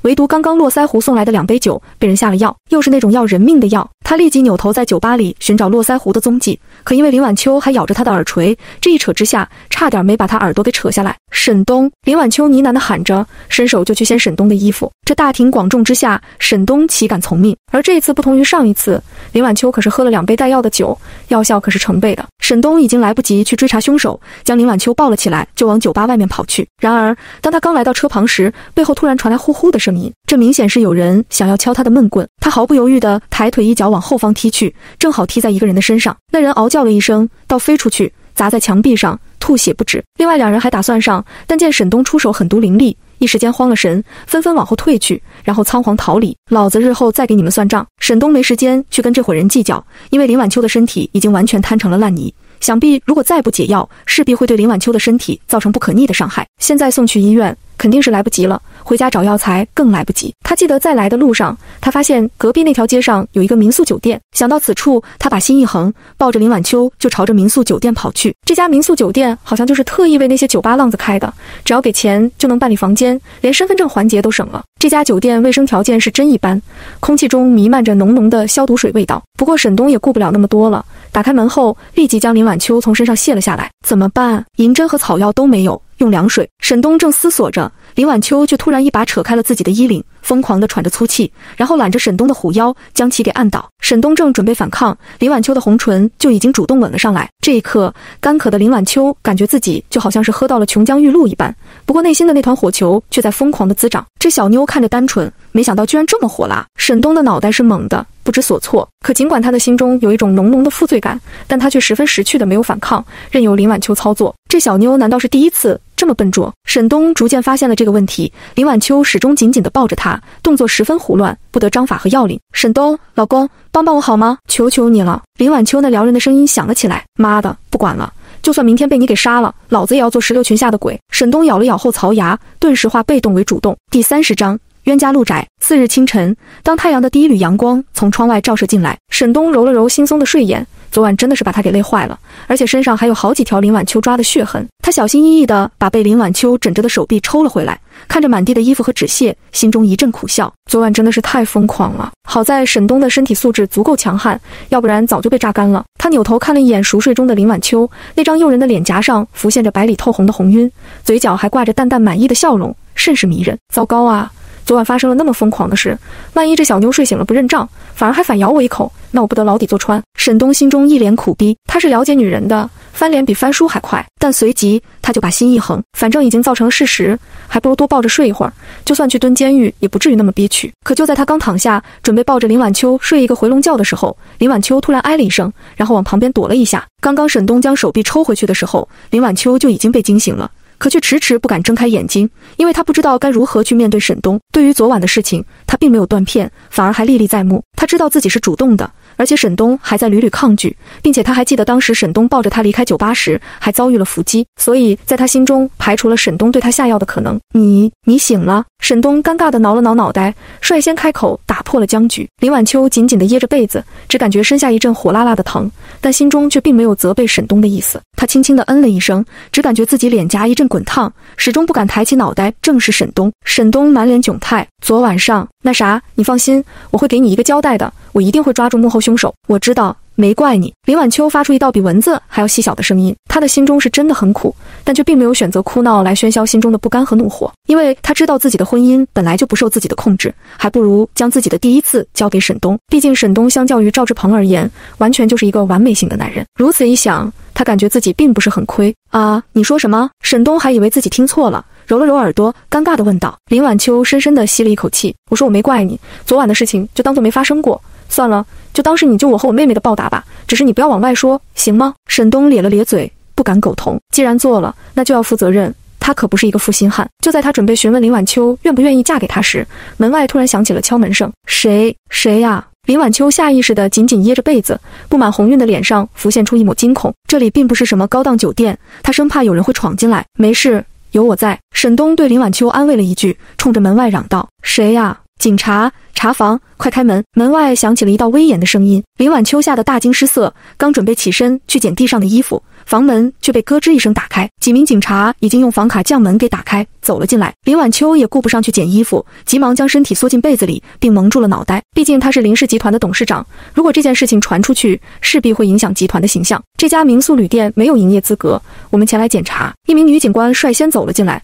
身后还跟着几名男警察。这声音怎么这么熟悉？沈东一怔，随即抬头望去，顿时被对方那胸前的气势给镇住了，好凶！好凶，不过怎么好像是在哪儿见过？沈东凝神望去，瞬间瞪大了眼珠子，因为那名女警察不是别人，正是梁国正的属下宋凌霜。前天他们俩还见过，结了一个不大不小的仇。你你怎么会在这儿？宋凌霜看见沈东时，也明显的愣了一下。前天晚上沈东被食人居的人带走的时候，他还为沈东担惊受怕。可后来他们率人捣毁食人居老巢时，他竟被沈东装死占了一个便宜，这让他的心中不爽到了极点。他刚准备对沈东问话，却发现沈东的目光不偏不倚地盯着自己的胸口看，这更是让他气不打一处来。看什么看？再看，我把你眼珠子挖出来！宋警官，我又没犯事，你恐吓我干什么？沈东立即挪开了目光。干巴巴地笑着，你可是有天大的胆子，我能吓到你？宋凌霜那张英姿飒爽的脸上布满了凶煞。你在这儿干什么？是不是在从事不法交易活动？跟我回去接受调查吧。别别别，宋警官，我只是和我女朋友来开房而已，难道这有错吗？我又不知道这家旅店没有营业资质。沈东一个劲儿的叫冤。这时，